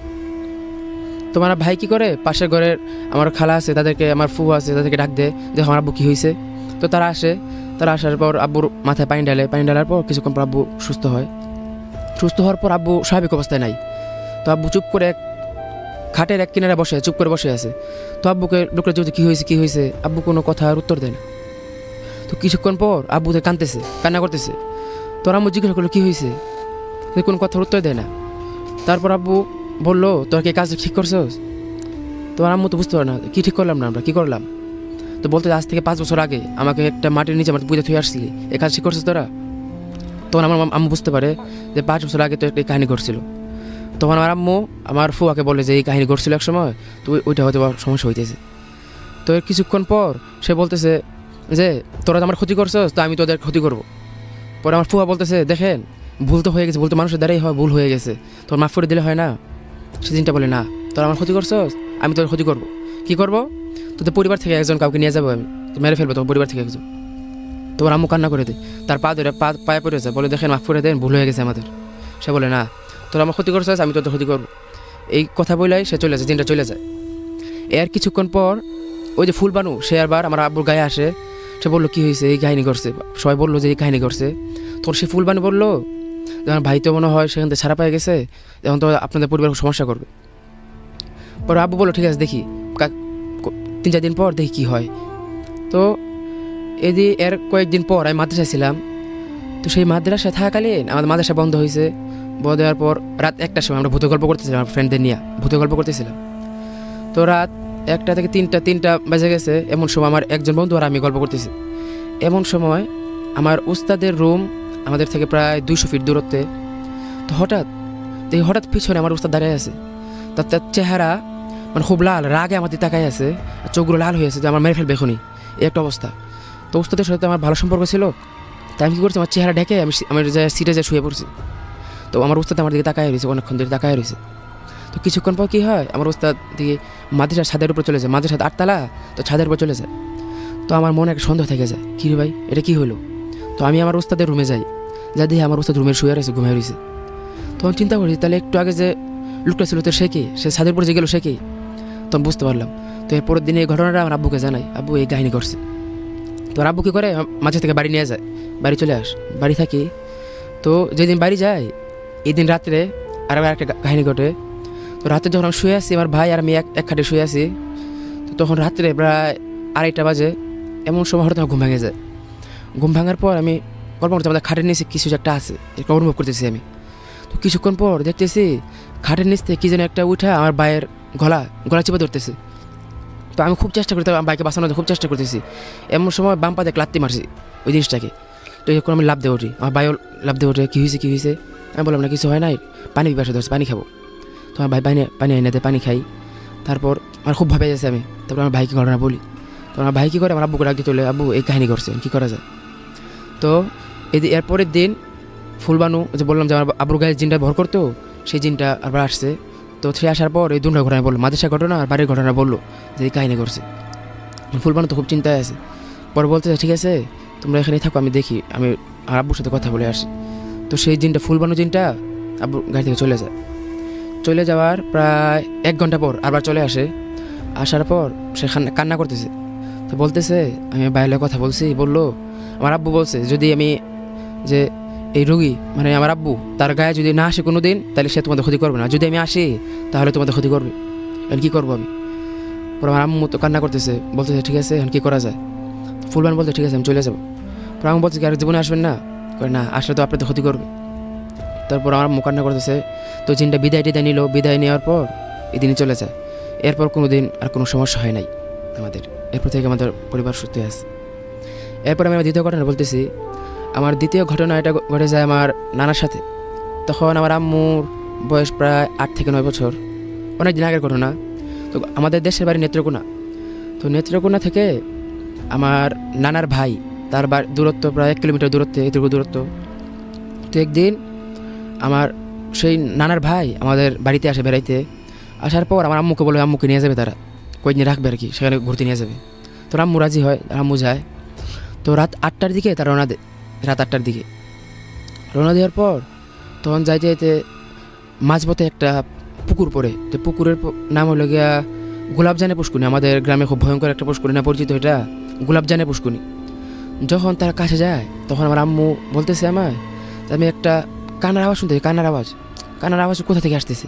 তো আম্মু তো ভয় পাইতেছে। তো তখন আমার সেই নানার ভাই, সে বলতেছে যে, কী হয়েছে দেখো দেখো চাচা, আমার কোথাও যে একটা কান্নার আওয়াজ আসতেছে। তোমার চাচা যখন শুনতে পায়। শুনতে পারবে না আমার আমার আম্মু যদি ভয় না পায়, যেন বলল, না, কিছু না, এটা এমনি বাচ্চা কান্না করতেছে আর কি এই বলে কথাটা কাটায় যখন পুকুরের মাঝ মাঝে মাঝে চলে আসে তখনই দেখতেছে যে পাশের পুকুরের ওই পারে একটা তাল গাছ আছে। তাল গাছের উপর থেকে একটা কান্না, তাল গাছের উপর থেকে কান্নার আওয়াজ আসতেছে। তো কিছুক্ষণ পর দেখে যে তাল গাছের নিচে একটা পিচ্চি মেয়ে, একটা পিচ্চি মেয়ে বসে আছে আমার নানার দিকে তাকায় আছে আর কান্না করতেছে। তখন আমার চাচু কি ভয় পেয়ে যায়, তখন চাচু ভয় পেয়ে যায়। আমার আম্মু সে তাকায়, আমার আম্মুকে সে সাহায্য দিতে বলে কিছু না, এটা একটা বাচ্চা মনে হয়, পাশের বাড়ি থেকে রাগ করে চলে আসছে তো তখন খুব ভয় ভয়ে তখন তারা বাড়ি চলে যায়। তো পাঁচ দিন পর যখন আমার নানা আমার আম্মুকে নিয়ে আসতে যায়, তখন সেই পুকুরের পাড়েই। যখন আসে, তখন রাত নয়টার মতো বাজে। যখন সে পুকুর পাড়ে আসে, ঠিক তখন দেখে সামনে একটা যখন পুকুরের মাঝখানে চলে আসে, তখন দেখে সামনে একটা লাশ শুয়ে আছে। কি ভাই, এটা কি? তো নানা তো বুঝতে পারে যে কোনো এক সমস্যা আছে জায়গায়। তো নানা বলতেছে, হেই, আমি তো তোর কোনো ক্ষতি করি না তোমার রাস্তা ছেড়ে দে। তো সে কোনো কথা শুনে না। তোমার নানা তখন কি করে? তখন বর্ষাকাল ছিল, তো পাশেই ক্ষেত ছিল সেখানে লেমে যায়। লুঙ্গি একটু উঠে সেখানে লেমে যায়। লেমে যায় কিছুক্ষণ সামনে আগায়, তখন আবার সেই লাশটা আবার ওনার সামনে চলে আসে। তখন নানা ভয় পেয়ে যায়। ওনারা খুব বুঝাই বলতে, দেখ, আমি তোর কোনো ক্ষতি করি নাই, আমার একটা মেয়ে, দেখ, তুই তাকে এতিম করিস না, ছেড়ে দে আমায়। তো সে কোনো কথা শুনে না। তখন তার, আমার নানা কী করে বিভিন্ন সুরা কালাম পরে আমার নানা কবিরাজ বলতে ভুলে গেছি, আমার নানা কবিরাজ ছিল, বড় কবিরাজ নাম করে কবিরাজ ছিল। তোমার নানা কী করে বিভিন্ন সুরা কালাম পরে পরে হাতের আঙ্গুল দিয়ে কী করে? সেই লাশের সোজাসুজি একটা দাগ দিয়ে ওদিকে চলে আসে, ওই পারে চলে আসে। যখন ওই পারে চলে আসে, তখন ওই লাশটা দাঁড়ায় যায়। দাঁড়ায় যায় আমার নানা গলা চেপে ধরে। গলা চেপে ধরে ক- বলতেছে, তুই ক, আমার এই ক্ষতির করলি কিসের জন্য? আমি তো তখন ক্ষতি করি নাই, তুই তো প্রথমে আমার ক্ষতি করছিস তুমি রাস্তা- আটকে ধরছিস, এই কারণে তোর ক্ষতিটা করছি। পরে তখন আমার নানা কী করে? নানা তার হাতটা কোনো মতো ছড়াইয়া তার গুল দাগ দিয়া সেখানে আটকায়া নানা সেখান থেকে চলে আসে। চলে আসার পর সে বাড়ি চলে আসে। বাড়ি চলে আসার পর তো আমার আম্মুর খুব জ্বর আসে। তো তখন আমার নানা খুব পানি পড়া এসব আম্মুকে দেয়। দেওয়ার পর আম্মু সুস্থ হয়। এই ছিল আমার দ্বিতীয় ঘটনা। এরপর ভাই আমার তৃতীয় ঘটনা। এটা ঘটে যায় আমার ফুফুর সাথে। আমার ফুফু, আমার ফুফুর চাহাতো বোন আর কি ফুফুর সাথে ঘটে যায়। তো অনেক দিন আগে ঘটনা এটা। প্রায় দুই হাজার ষোলোর দিকে ঘটনা এটা তো আমার ফুফু কি হয়, আমাদের বাড়িতে বেড়াইতে আসে। বেড়াতে আসলে প্রায় চার দিন মতো থাকে। তো সে চার দিন পর, এই দিন রাত্রে, রাতের ঘটনা। রাত্রে আমার ফুফু প্রসাব করার জন্য ঘুম থেকে জাগ্রত। হয় জাগ্রত হওয়ার পর দেশ গ্রামে সাধারণত টয়লেটগুলো থাকে বাড়ির পিছনে বাড়ির পিছনে থাকে টয়লেট। তো আমার ফুফু তো একা উঠছে ফুফু চিন্তা কাউকে ডাক দিব? না, ডাক দিয়ে লাগবে বাড়ির সামনে যায় প্রসাব করে চলে আসব। এই কেউ ঘরতে বাইরে হয়ে যায়। যখন বাড়ির সামনে যায় প্রসাব করতে বসে, তখন প্রায় দুইশো থেকে তিনশো ফিট দূরত্বে এই দুইটা রাজা হাঁস, দুইটা রাজা হাঁস মারামারি করতেছে একসাথে সাথে আরেকজনের সাথে মারামারি করতেছে। তোমার ফুফু এটা দেখে ভয় পেয়ে যায় কি এত রাত্রে রাজা হাঁস আসলো কোথা থেকে? তোমার ফুফু কী করে? তখন দৌড়ায় ঘরে চলে আসে। ঘরে চলে আসার পর কিছুক্ষণ বসে থাকে। পরে মনে কৌতূহল। কৌতূহলের বসে কী করে? জানলা খুলে দেখি কী হইতেছে এটা। জানলা খুলে। জানলা খোলার পর দেখতেছে প্রায় এক হাত দূরত্বে দুইটা সাদা কাপড় পরা লোক, একটা গরু, গরুর শরীরে চামড়া নাই, মাথা নাই, গরুটাকে টানে টানে নিয়ে যাইতেছে দুইটা সাদা কাপড় পরা লোক। এত এত কাছ থেকে নিয়ে যাইতেছে যে তাদের যে মাথার কাপড়টা এই কাপড়টা ফুর মুখের সাথে লাগে। তো ফুফু তখনই অজ্ঞান হয়ে পড়ে যায়। অজ্ঞান হয়ে পড়ে যাওয়ার পরে পরের দিন সকালে আমার আব্বু ঘুম থেকে উঠে। ঘুম থেকে উঠে ওঠার পর ফুফুকে দেখে আব্বু চিৎকার মারে। চিৎকার মারার পর তো বাড়ির সবাই একসাথে হলো কী হলো কী হলো তখন দেখতেছে যে আমার ফুফু স্বাভাবিক অবস্থায় নাই। তার মুখটা বেঁকে গেছে। মুখটা বেঁকে যাওয়ার পর বেঁকে গেছে, তার চেহারাটা খুব মানে ভয়ঙ্কর হয়ে গেছে তার চেহারাটা খুব ভয়ঙ্কর হয়ে গেছে।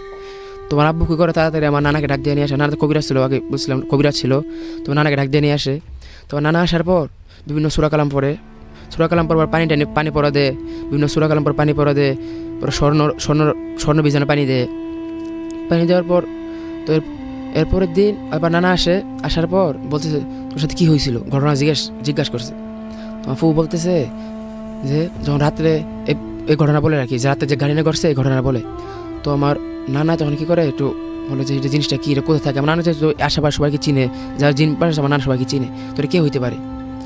তো এই দিন রাত্রে আমার ফুফু স্বপ্ন দেখে, যে, তোকে আমি এই- ঘটনা কাউকে বলতে না করছিলাম তো তুই কথা বলে দিয়েছস তুই তুই বাঁচবি- না, তোকে মেরে ফেলাম তো এর পরের দিন সকালে আমার নানাকে ঘটনা বলে। বলার পর এই দিন রাত্রে আটটার দিকে আমার ঘরে তো অনেক মানুষ যেহেতু এরকম ভয়ঙ্কর ঘটনা ঘটে গেছে অনেক মানুষ তো এই দিন বলে আমার ফুফু শুয়ে রয়েছে শুয়ে থাকার পর সবাই যাক না হঠাৎ দেখতেছে দরজা দিয়ে তার চেহারা হবু তার চেহারার মতো একটা লোক ঘরে দিয়ে প্রবেশ করছে তো তার দিকে তাকায় আছে তার পাশে এসে বসছে বসার পর ফুফু কথা বলতে পারতেছে না। ফুফু কথা বলতে পারতেছে না, খুব চিৎকার চেষ্টা করছে কথা বলতে পারতেছে না। তো তার মাথার কাছে আইসা মাথায় হাত দিয়ে বলতেছে, তোকে ঘটনা কাউকে বলতে না করেছিলাম তুই তুই বলে দিয়েছিস তুই কাজ ঠিক করছস তোমার ফুফু তো কান্না করতেছে চিৎ করতে পারতেছে না। তো জিনিসটা ওই দিন চলে যায়। চলে যাওয়ার পর তখন ফুফু আমার চিৎকার করা শুরু করছে, সবাই একসাথে হচ্ছে আমার নানা আসছে তো কী হয়েছে কী হয়েছে এই ঘটনা করছে তো আমার নানা তাকে, ঠিক আছে, সমস্যা, কিছু সমস্যা হবে না, আমি তো, আমি আজকে তোমাদের বাড়িতে থাকব, তাহলে কোনো সমস্যা হবে না। তো ঠিক আছে। তো নানা এদিন আমাদের বাড়িতেই থাকে। থাকলে এদিন, পরের দিন সকালে উঠে দেখেন ফুফু, আমার আব্বু সবার আগে ঘুম থেকে উঠে উঠে দেখেন ফুফু কথা বলে না। ফুফু আর কথা বলে না। তখন থেকে আর আমার ফুফু ইন্তেকাল করে। এই ভাই ছিল আমার তৃতীয় ঘটনা। এরপর ভাই আমার চতুর্থ ঘটনা, এটা ঘটে যায় আমার আম্মু আমার আম্মু বলতে কি আমার খালার আম্মুর সাথে ঘটে যায়। তো আমার মামা আমেরিকা থেকে আসে আর কি, দীর্ঘ পাঁচ বছর পর আমেরিকা থেকে আসে। তো আমার আম্মু এক মাস আগে চলে যায়। তো এক মাস পর আমি, আমার খালা দুজন খালা সিলেটে যাই, সিলেট। আমার মামা থাকে সিলেটে, তো আমরা সিলেটে যাই। সিলেটে যাওয়ার পর আমরা যে বাসা থাকি, যে বাসা আমার আম্মু থাকে সেখানে যাই। তো সেখানে একদিন রাত্রে আমার খালা দেখতেছে যে পাশের ঘর পাশের ঘর থেকে খুব চিল্লাপালার আওয়াজ। পাশের ঘরে সাধারণত মানে কথা বলতে ভুলে গেছে, পাশের ঘরে কেউ থাকতো না, খালি ছিল। কিন্তু পাশের ঘরে খুব চিল্লাপালার আওয়াজ। মানে ঘরটা পর ভেঙে লাগবে একটা অবস্থা। তোমার ফুফু এগুলো অনুভব করতেছে আর কি। তোমার আম্মুকে এই ঘটনা, এর পরের দিন সকালে আমার আম্মুকে ঘটনা বলে, তোমার আম্মু বলে হ্যাঁ এটা প্রতিদিন এরকম একটা ঘটনা ঘটে আর কি, আমি দেখতে পাই, এরকম একটা ঘটনা ঘটে। তো এই দিন রাত্রে কী হয়, আমার খালা আমাদের টয়লেটে সেখানে যায় কথা বলতে। ফোনে তার বাড়িতে কথা বলতে যায়। যাওয়ার পর আম্মুর সাথে যায়, আমার আম্মু যায় ইস্তেঞ্জাখানায়। ইস্তেঞ্জাখানা যাওয়ার পর আমার আম্মু দেখতেছে কি, যে একটা হাত, পুরো হাতটা পুরো পুরো কালো বিচ্ছে একটা হাত। আমার আম্মু গলা টিপে ধরবে একটা অবস্থা। তো আম্মু কী করে দৌড়ে টয়লেটে বাইরে আসে। তোমার খালাও আসে, বলে, কী হয়েছে কী হয়েছে? আম্মু দৌড়ায় ঘরে চলে আসে বলছে কী হয়েছে কী হয়েছে? বলতেছে যে, বাথরুম আমার এই ঘটনা করছে তোমার খালা তো ভয় পাইছে আমার খালা বলে হ্যাঁ আমি এরকম একটা ভয় পাইছিলাম, কিন্তু তোরা বলি নাই তুই ভয় পাবি দেখি, আমি তোরা বলি নাই। তো এর পরের দিন কি হয়, আমার খালা বলছে, না, আমি থাকব না চলে যাও বাড়িতে। তোমার খালা বাড়ি চলে আসে। তো একটা কথা বলতে ভুলে গেছি, এই সময় কি আমার খালার খুব একটা অসুস্থ হয়ে যায়, খুব বড় একটা অসুস্থ হয়ে যায়। ডায়রিয়া অসুস্থ বলে ডায়রিয়া হয়ে যায় আর কি আমার খালার। ডায়রিয়া হয়ে যাওয়ার পর আমার খালা বাড়ি চলে আসে। চলে আসার পর বাড়িতে কয়েকদিন থাকে, বাড়িতে ডাক্তার এসে দেখছে অনেক টষুধ দিয়ে গেছে। তো কয়েকদিন আমার খালা বাড়িতে থাকতেছে। তো বাড়িতে আসার তৃতীয় দিন। কি হয়, আমার বাড়ির, আমার খালার বাড়ি, সবাই একটু বাইরে কোথায় যায়। আমার খালা বাড়িতে একা তার একটা ছোট্ট মেয়ে ঘুমায় রয়েছে। তো খালা শুয়ে থাকলে দেখতেছে যে বাড়ির উঠানে কি যেন একটা হাট সাদা কাপড় পরে কি একটা হাঁটতেছে, আমার খালাটা দেখতেছে। তো খালা তাকায় রয়েছে তার দিকে। হঠাৎ খালা দেখতেছে কি, ওই জিনিসটা পুরো হুবহু খালার চেহারার। এরপর হুবহু খালার চেহারার লোকেটা তো সে কি করল? ঘর প্রবেশ করল। ঘর প্রবেশ করার পর আমার যে খালাতো বোন বললাম ছোটো ঘুমায় রয়েছে তার পাশে এসে বসল। তোমার খালা তখন কোন কথা বলতে পারতেছে না। আমার খালা তখন কোন কথা বলতে পারছে না, চিৎকার করতে পারতেছে না। খালা চুপ করে তাদের তাকায় রয়েছে সেও খালা দিয়ে তাকায় রয়েছে তো কিছুক্ষণ পর সে কী করে ঘর থেকে বাইরে চলে আসে। চলে আসার পর ঘরের চালের উপর খুব জোরে একটা পাথর ফিকা মারে। পাথর ফিকা মারে, তখন খালা কী করে ফোন দিয়ে, আমার খালোর ফোন দিয়ে, দেখো, ভয় পাইছে তাতে বাড়ি চলে আসো। তোমার খালো বাড়ি চলে আসে। চলে আসে বলতেছে, এই গাইনি করছে, কী করা যায়? তোমার খালু বলো, ঠিক আছে? দেখতেছি, কী হয়েছে তোমার খালু যে আমাদের মসজিদ ইমাম, তার কাছে যায় যায় বলতেছে, আমাদের সাথে এই কাহিনী করতেছে কয়েকদিন ধরে। আমার স্ত্রী সিলেটতে আসার পর আমার স্ত্রীর সাথে খুব মানে খুব খারাপ খারাপ ঘটনা ঘটে যাচ্ছে আর কি। তো আমার, সে মসজিদ ইমাম কী করছে? আমার খালাকে তাবিজ দেয় পানি পড়া দেয় এসব দিয়ে দেয় দিয়ে দেওয়ার পর আমার খালা তাবিজটা পরে রাখে কয়েকদিন। তো যেহেতু দিন এই তাবিজটা পড়া ছিল খালা কোনো ক্ষতি হয় নাই। মানে এরপর কোনো দিন এই জিনিসটা দেখে নাই। কিন্তু একদিন খালা কি করে? গোসল করতে গিয়া ওই তাবিজটা খুলে ফেলে। খুলে ফেলার পর সেটা পড়তে মনে নাই। তো খালা রুমে আসে। তো একদিন আমার খালা বাড়ি থেকে নানা বাড়ি বেশি দূরত্বে না, প্রায় পঞ্চাশ ফিট এত দূরত্বে, এবার বেশি দূরত্ব না, এক কথায়, বেশি দূরত্বে না। তো আমার নানার বাড়ি যায়। তো নানার বাড়ি থেকে আসার পথে সাথে আমার খালাতো ভাই আছে একটা, আমার খালার সাথে। তো আসার পথে দেখে যে সেখানে জঙ্গলের মাঝখানে আসতে হবে রাস্তা দিয়ে। জঙ্গলের মাঝখানে ববি গাছে কী যেন একটা বসে রয়েছে। আর খালার দিকে তাকায় রয়েছে। খালার দিকে তাকায় রইলে, কিছুক্ষণ পর খালার ওই সময় আমার খালাতো ভাইয়ের হাতটা ধরছে, খুব টাইট করে হাতটা ধরছে। হাতটা ধরার পর দেখতো ওই জিনিসটা খালার দিকে তাকায় রয়েছে তাকায় থাকার পর কিছুক্ষণ পর সেই জিনিসটা খুব বিচ্ছিন্ন একটা হাসি দিল। হাসি দেওয়ার পর খালা সেখানে ভয় পায়, চিৎকার মারে অজ্ঞান হয়ে যায়। তো আমার নানা দৌড়ায় আসে কী হয়েছে দেখে খালা শরীর অজ্ঞান হয়ে পড়ে রয়েছে আমার খালাতো ভাই দাঁড়ায় দাঁড়ায় কাঁদতেছে। সে তো বুঝে না কিছু, ছোট, সে কাঁদতেছে। তোমার খালারে মনে করো আমার নানুই আর নানা ধরে আমার খালার ঘরে নিয়ে আসে। এসে মাথায় পানি দেয় পানি দেওয়ার পর কি- হয়েছে বলে কাহিনী করছে। পর বলে তোকে যে হুজুর তাবিজ তাবিজটা পড়ছিলি? কয় না। কয় তাবিজটা হারাই লাইছি। তোমার নানা কি হয়, নানা তাবিজ তাবিজ দেয় আমার খালারে। তো আমাদের খালার বাড়িটা পুরোটা বাইনে দেয় আর কি। এক কথায় বাড়ির চারপাশে লোহা দিয়ে দেয় চারদিক দিয়ে আজান দিয়ে দেয় বাড়িটা বাঁধে দেয়। বাইরে বাঁধে দেওয়ার পর আর কি ঘরে ওই বাড়ির ভিতরে কোনো অশুভ শক্তি প্রকাশ করতে পারে না। তো এরপর থেকে আমার খালার সাথে কোনো ঘটনা ঘটে যায় না এরকম কোনো খারাপ ঘটনা ঘটে যায় এই ছিল আমার চতুর্থ ঘটনা।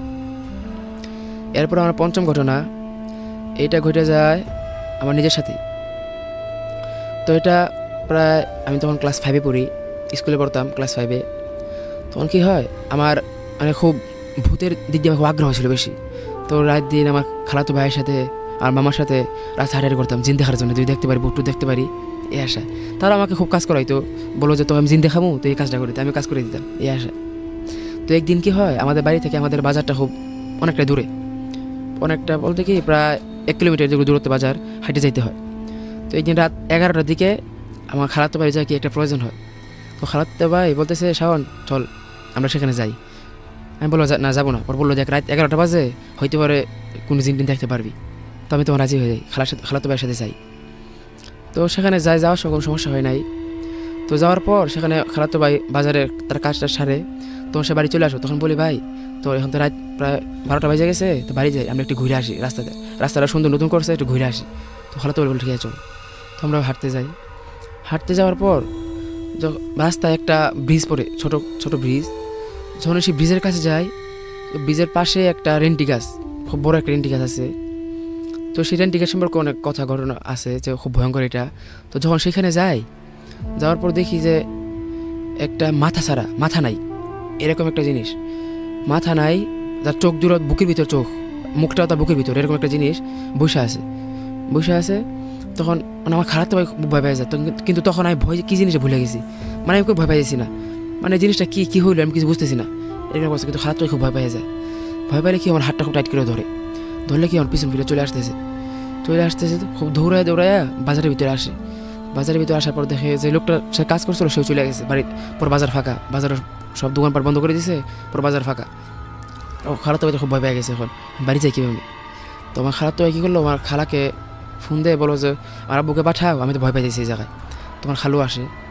খালু আসার পর সেখানে আমাদের বাজারে আসে, প্রায় এখন একটা বাজে যায় আসতে আসতে। তো একটার পর আমরা সেখান রওনা দিই। তো একটার পর যখন আসতেছি, আসার পথে একটা কালবাট অর্থাৎ ছোটো যে ব্রিজগুলো বলে আমরা আমাদের সেটা কালবাট বলে তো সেখানে আসি। সেইখানে যখন কাছাকাছি চলে আসি তখন দেখছি যে খালবাটের নিচ থেকে কি যেন একটা সাদা সাদা কি উঠে আমাদের আমাদের দিকে আসতেছে। তখন আমার খালু দেখে জিনিসটা ভয় পেয়ে যায় কি রে, এত রাত্রে আশেপাশে কেউ তো নাই এখন কী করা যায়? তো সেই জিনিসটা কী করে আইসা আমার দিকে তাকায় এক জায়গায় মানে আমাদের খুব কাছাকাছি চলে আসে দাঁড়ায় যায়। দাঁড়ায় মনে করেন একটু পরে দেখি আরও দুইটা আরও দুইটা এরকম আসে। আইসা আমাদের রাস্তার মাঝখানে দাঁড়ায়। তো এখন তো আমার- খালু ভয় পেয়ে যায়। তখন খালু কী করে? আমার দুজনের হাত ধইরা পিছন ফিরে চলে আসতে চায় যখন পিছন ফিরে চলে আসব, তখন তো পিছনে একটা দাঁড়ায় আছে এরকম। এখন তো কিছু করে না, খালু খুব ভয় পেয়ে যায় এখন কী করি? খালু বিভিন্ন সুরা কালাম পড়তেছে, আল্লাহর নাম লইতেছে। আমার খালু, আমার খালা তো কী করে, তখন জীবন আর ছেড়ে দেয়। কিন্তু আমি ভয় পাই যাচ্ছি না। একটু একটু ভয় পাই যাচ্ছি কিন্তু ভয় পাইছি না। মানে কি ভয় জিনিসটাকে ভুলে গেছি আমি। তো কিছুক্ষণ পর দেখতেছে যে পাশের প্রায় কিছুক্ষণ দূরত্বে একটা বাড়ি আছে। সেই বাড়ি থেকে কেক লাইট দিয়ে বাইরে হয়েছে তো আমার খালু একটা সাহস ফিরে পায়। আমার খালু চিৎকার দিয়ে ডাকে থাকে আমার খালু চেয়ে চিনা পরিচয় ছিল, চিৎকার দিয়ে ডাকে। তো সে কী করে? খালু দিকে আগায় আসে। আগায় দিলে খালু মানে রাস্তা রাস্তা থেকে খেতে নেমে যায়। নেমে দিয়ে তার দিকে দৌড়ে চলে যায়। তো চলে যাওয়ার পর তাকে বলতেছে, ভাই, দেখেন, এই ঘটনা আমাদের সাথে ঘটতেছে। তো তার সে কী করে? আমাদেরকে তাদের বাড়িতে নিয়ে যায়। বাড়িতে নিয়ে যাওয়ার পর বলতেছে কি, ভয় পাইছে? খালু বলল হ্যাঁ অনেকটা ভয় পাইছি। তো সে কী করে? আমাদের গ্রামে একটা প্রচলন আছে, ভয় পাইলে কাঁচা কলা এটা খাওয়ায়, পরে লোহায় কামড় দেওয়ায়। তোমার খালুকেও কামড় দেওয়া করাইলো, আমার খালাতো ভাইকে করাইলো, আমাকে করাইলো। তো আমি তো এত বেশি ভয় পাই না আমরা বুঝতে পারি না জিনিসটা কি। ছোটো ছিলাম তো, এত বেশি বুঝি নাই। তো এরপরের দিন সকালে আমরা সেখান থেকে চলে আসি। এই ছিল আমার পঞ্চম ঘটনা। এরপরে আমার ষষ্ঠ ঘটনা, এটা ঘটে যায়, এটাও আমার আব্বুর সাথে ঘটে যায়। তো কি হয়, আমার আব্বু তখন থাকতো গাজীপুরে গাজীপুরে থাকতাম আমরা। তো গাজীপুরে থাক, থাকাকালীন একদিন রাত্রে আমার আব্বু ঘুম থেকে উঠে। ঘুম থেকে ওঠার পর যখন ইসে মানে প্রস্রাব করতে যাবে বাহির ঘর থেকে বাইর হয় ঘর থেকে বাইরে প্রস্রাব করতে যাওয়ার জন্য যখন যেতে চায় তখন দেখে আমাদের ঘরের সামনে একটা মেয়ে বসে রয়েছে মেয়ে বসে রয়েছে। তো যখন আমার আব্বু বলতেছে "এই, তুমি কে? কোন ঘর থেকে আসছো? কোন জায়গা থেকে আসছো? সে কোনো কথা বলে না। সে কোনো কথা বলে না। তো একটু পর সে আমার আব্বুর দিকে তাকায়। আমার আব্বুর দিকে তাকায় একটা সুন্দর করে হাসি দেয়। মানে খুব ভয়ঙ্কর না এত বেশি ভয়ঙ্কর হাসি দেয় একটা সুন্দর হাসি দেয়। তো আমার আব্বু বলছে, তুমি কোন জায়গা থেকে আসছো? সে কোথাও কথা না বললা চুপ করে চলে আসে এখান থেকে, চলে আসে। চলে গেলে আমাদের বাড়ি থেকে বাইর হয়ে যায়। তখন আব্বু প্রসাব প্রসাব করে। প্রসাব করার পর যখন আসতে থাকে, তখন আব্বু বলে একটু সিগারেট খেয়ে আসে। তখন আব্বু একটু দূরে যায়, একটা রেন্টি গাছ, তো গাছের তলায় যায়। তো যখন সেই জায়গায় যায়, সেখানে যাওয়ার পর দেখতেছে সেই গাছের উপর। সেই গাছের উপর কিছু একটা দাঁড়ায় আমার আব্বুর শরীরে প্রসাব করে দিয়েছে আমার আব্বু শরীরে প্রসাব করে দিয়েছে আমার আব্বু উপরে তাকায় দেখে কি একটা সাদা। আর বুঝতে পারে জিনিসটা অন্য কিছু, এটা মানুষ না এটা অন্য কিছু। তার আব্বু কথা বলে না। কথা না বইলা রুমে চলে আসে।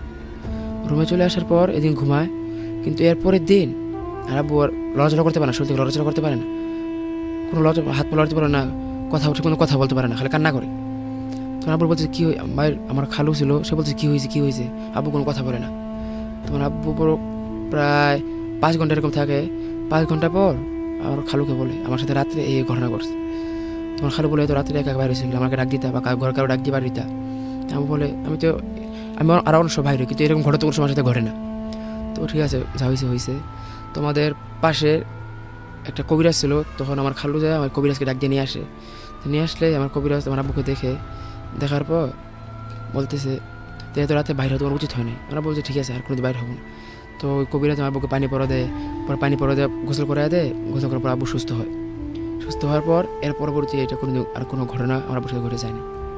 এই ছিল আমার ষষ্ঠ ঘটনা এরপর আমার সপ্তম ঘটনা, এটা ঘটে যায় আমার নানার সাথে। সেটা অনেক আগের ঘটনা। আমার নানা যেহেতু কবিরাজ ছিল, তো বিভিন্ন জায়গায় বিভিন্ন সময় যাইতে হইতো, অনেক দূরত্ব দূর যাইতে হইতো। আমাদের বাড়ি নেত্রকোনা সেখান থেকে অনেক দূরে দূরে যাইতে হইতো। তেমনি একদিন আমার নানা অনেক প্রায় পাশের থানা অনেক দূরত্বে, প্রায় সাত থেকে আট কিলোমিটার দূরত্বে, সেখানে একদিন দুপুর দুটার দিকে যায়। সেখানে কোনো একটা কাজ পড়ে সেখানে যায়। তো সেখানে তখন সে গাড়ি ঘোড়া, গাড়ি চলতো না, তো নানা একটা ঘোড়া ছিল, সে ঘোড়া করে যায় নানা। তো সেখানে যাওয়ার পর, সেখানে থাকতে, কাজ সারতে সারতে প্রায় রাত আটটা বাজে যায়। সেখানে বাজে যায় আটটা আটটা। তো তখন রাতে আটটার সময় নানা রওনা দেয়, সেখান থেকে রওনা দেয়। যখন আমার নানা আমাদের গ্রামে পাশে, কাছাকাছি চলে আসে, তখন একটা জঙ্গল পড়ে, জঙ্গলের নাম নাগের বাড়ি জঙ্গল। আমাদের গ্রামে খুব ভয়ঙ্কর জঙ্গল নামে পরিচিত আর কি। নাগের বাড়ি জঙ্গল। যখন সে জঙ্গলের কাছাকাছি চলে আসে, ঠিক তখনই আমার নানা ঘোড়াটা সামনে আগায় না। কীভাবে ঘোড়ার সামনে আগায় না, নানা খুব চেষ্টা করল ঘোড়াটা সামনে আগানোর জন্য, কিন্তু ঘোড়ার সামনে আগাই না। তারপর খুব টানাটানি করে আর কিছু সামনে আগাইলো। সামনে আসার পর ঘোড়া বসে পড়ছে, জায়গায় বসে পড়ছে। আর আসেন সামনে আগাই না। তো নানা কী করল? অপারগ হইয়া ঘোড়াটাকে সেখানেই বেঁধে আমার নানা হাইটে চলে আসছে। তো যখন আমার হাইটে চলে আসছে, তো জং রাস্তার কাছাকাছি চলে আসে, তখন দেখতেছে যে রাস্তার মানে জঙ্গলের শেষ মাথায় একটা মেয়ে মানে নতুন বধুর মতো একটা মেয়ে দাঁড়ায় আছে। তো নানা মনে করছে, এটা হয়তো বা পাশে বাড়ি নতুন বিয়ে করছে, একটা লোক বিয়ে করছে, তার বউ ঘরে ঝগড়া করে এখানে চলে আসছে। তো আমার নানা ডাকতেছে তাকে, হে অমুকের বউ অমুকের বউ করে ডাকতেছে। মানে সে আমার নানা দিকে কোনো ভ্রক্ষে পড়তেছে না নানা দিকে ফিরতেছে না। যখন নানা তার কাছাকাছি চলে যায়, খুব কাছাকাছি আসে, তখন সেই জিন সেই জিনটার গায়ে আমার নানা হাত দিতে যায়, হাত দিতে যায়, তখনই সেই জিনটা আমার নানার দিকে ফিরে। মানে ফিরার অবস্থাটা কীরকম ছিল? সেই জিনটা তার তার শরীর ফিরে না, শুধু ঘাটটা শুধু ঘাটা ফিরায়, ঘাটা। আর তার চেহারার অবস্থা নানা বলতে তার চেহারার অবস্থা এত ভয়ঙ্কর ছিল যে তার মুখ, আমাদের যে মুখটা, তার মুখ কোনো ফাঁকা নেই।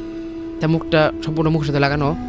আর তার চোখ দুটো বলে, এই পরে ভয়ঙ্কর চোখ থেকে মনে করেন আগুনের গোলা বাড়িছে এরকম একটা অবস্থা। ভয়ঙ্কর দিকে আমার নানা দিয়ে তাকায় তাকাইছে। তাকায় একটা বিচ্ছেপে হাসি দিছে। তো নানা তো কবিরা ছিল, খুব সাহসী ছিল। কিন্তু এসব, এত কাজ থেকে এরকম একটা ঘটনা নানা এটা মনে করে বুঝতে পারে নাই। তো নানা সেখানে অজ্ঞান হয়ে পড়েছে তো পড়ে যাওয়ার পর, এরপরে ফজর আতাম বেশ সময় বাকি ছিল না। তো কিছুক্ষণ পর সে ফজর নামাজের জন্য যখন মুসল্লিরা মসজিদ যাবে চায় তখন তারা আমার নানাকে দেখে রাস্তার পাশে পুরা, রাস্তার পাশে শুয়ে আছে। তো তারা আমার নানার কাছে আসে, নানাকে নিয়ে আমাদের বাড়িতে নিয়ে যায়। বাড়িতে নিয়ে যাওয়ার পর আমার নানাকে, তারা আমার নানাকে মাথায় পানি দেয়। মাথায় পানি দেওয়ার পর তারা নানা তখন জাগ্রত হয়ে বলল, কী হয়েছে এই ঘটনা? তো নানা বলে, এই ঘটনা আমার সাথে ঘটে গেছে। তো ঘটনাটা এখানে শেষ হইতে পারতো, কিন্তু ওই যে আমার নানা একটা ঘোড়া রেখে আসছিল, পরবর্তীতে সেই ঘোড়া কিন্তু আমার নানা কিন্তু খুঁজে পায় নাই। এর পরবর্তীতে প্রায় এক মাস পর আমার নানা আমার পাশের বাড়িতে যায় একটা কাজ কাজ ছিল, তো পাশের বাড়িতে যায়। তো যখন সেখান থেকে ফিরে আসে, তখন রাস্তায় রাস্তায় দেখে একটা ঘোড়া, তার পা তিনটা, শরীরে কোনো চামড়া নেই সে আমার নানার দিকে তাকায় আছে। তাকায় মনে করো খুব একটা মায়াবী চেহারা তাকায় আছে নানার দিকে। তো নানা বলতো জিনিসটা কি? তো নানা তার কোনো ভ্রক্ষেপ করে না, বুঝতে পারছে, এটা কোনো খারাপ জিনিস? তো তার কাছে না যায় ভালো। তো নানা বাড়ি চলে আসে। বাড়ি চলে আসলে এদিন রাত্রে আরও আমাদের গ্রামের চার থেকে পাঁচজন সেই ঘোড়াটাকে দেখে। সেই ঘোড়াটাকে দেখার পর সেই ঘোড়াটা কী করে? একদিন একটা লোকে মসজিদ থেকে নামাজ, নামাজের পর বাইর হয়, এসে নামাজের পর বাইর হয়। বাইরে চাটা নাস্তা রাস্তা করে। তো আসার পথে সেই ঘোড়াটা দেখতে পাই তার রাস্তা আটকে দাঁড়িয়েছে রাস্তা আটকে তার কোনো ক্ষতি করছে না, রাস্তা সে দাঁড়ায় রয়েছে। তো সে তো ভয় পেয়েছে সে তো মনে করো সাধারণ মানুষ, সে ভয় পেয়ে যায়। ভয় পেয়ে সে চিৎকার করে, তো পাশের লোক ধরে আসে আর কি হয়েছে কি হয়েছে? বলে দেখেন একটা ঘোড়া তিন পা, তার শরীরে কোনো চামড়া নেই। তো কই, ঘোড়াটা তো কই দেখতেছে না। তো কিছুক্ষণ পর সে, সেই লোকটা দেখতেছে, সেই ঘোড়াটা একটা জঙ্গল, একটা জঙ্গলে মাঝখান দিয়ে চলে যেতেছে তো তারপর থেকে এটা প্রায় আমাদের গ্রামের প্রায় মানুষ ওই ঘোড়াটাকে দেখে। তো আমাদের গ্রামের মানুষ বলে সেই যে আমার নানা ঘোড়াটা ওই জঙ্গলে ফেলায় রাখে, আসছিল। সেই ঘোড়াটাই নাকি এখন এই গ্রামের সবার মানুষের সামনে দেখা দেয়। তো গ্রামের মানুষ সেই ঘোড়ার নাম দিয়েছিল টিনটিন ঘোড়া। অনেক মানুষ তো এই ঘোড়াটাকে দেখছে, তো শুরু ঘোড়াটা কারও ক্ষতি করে না।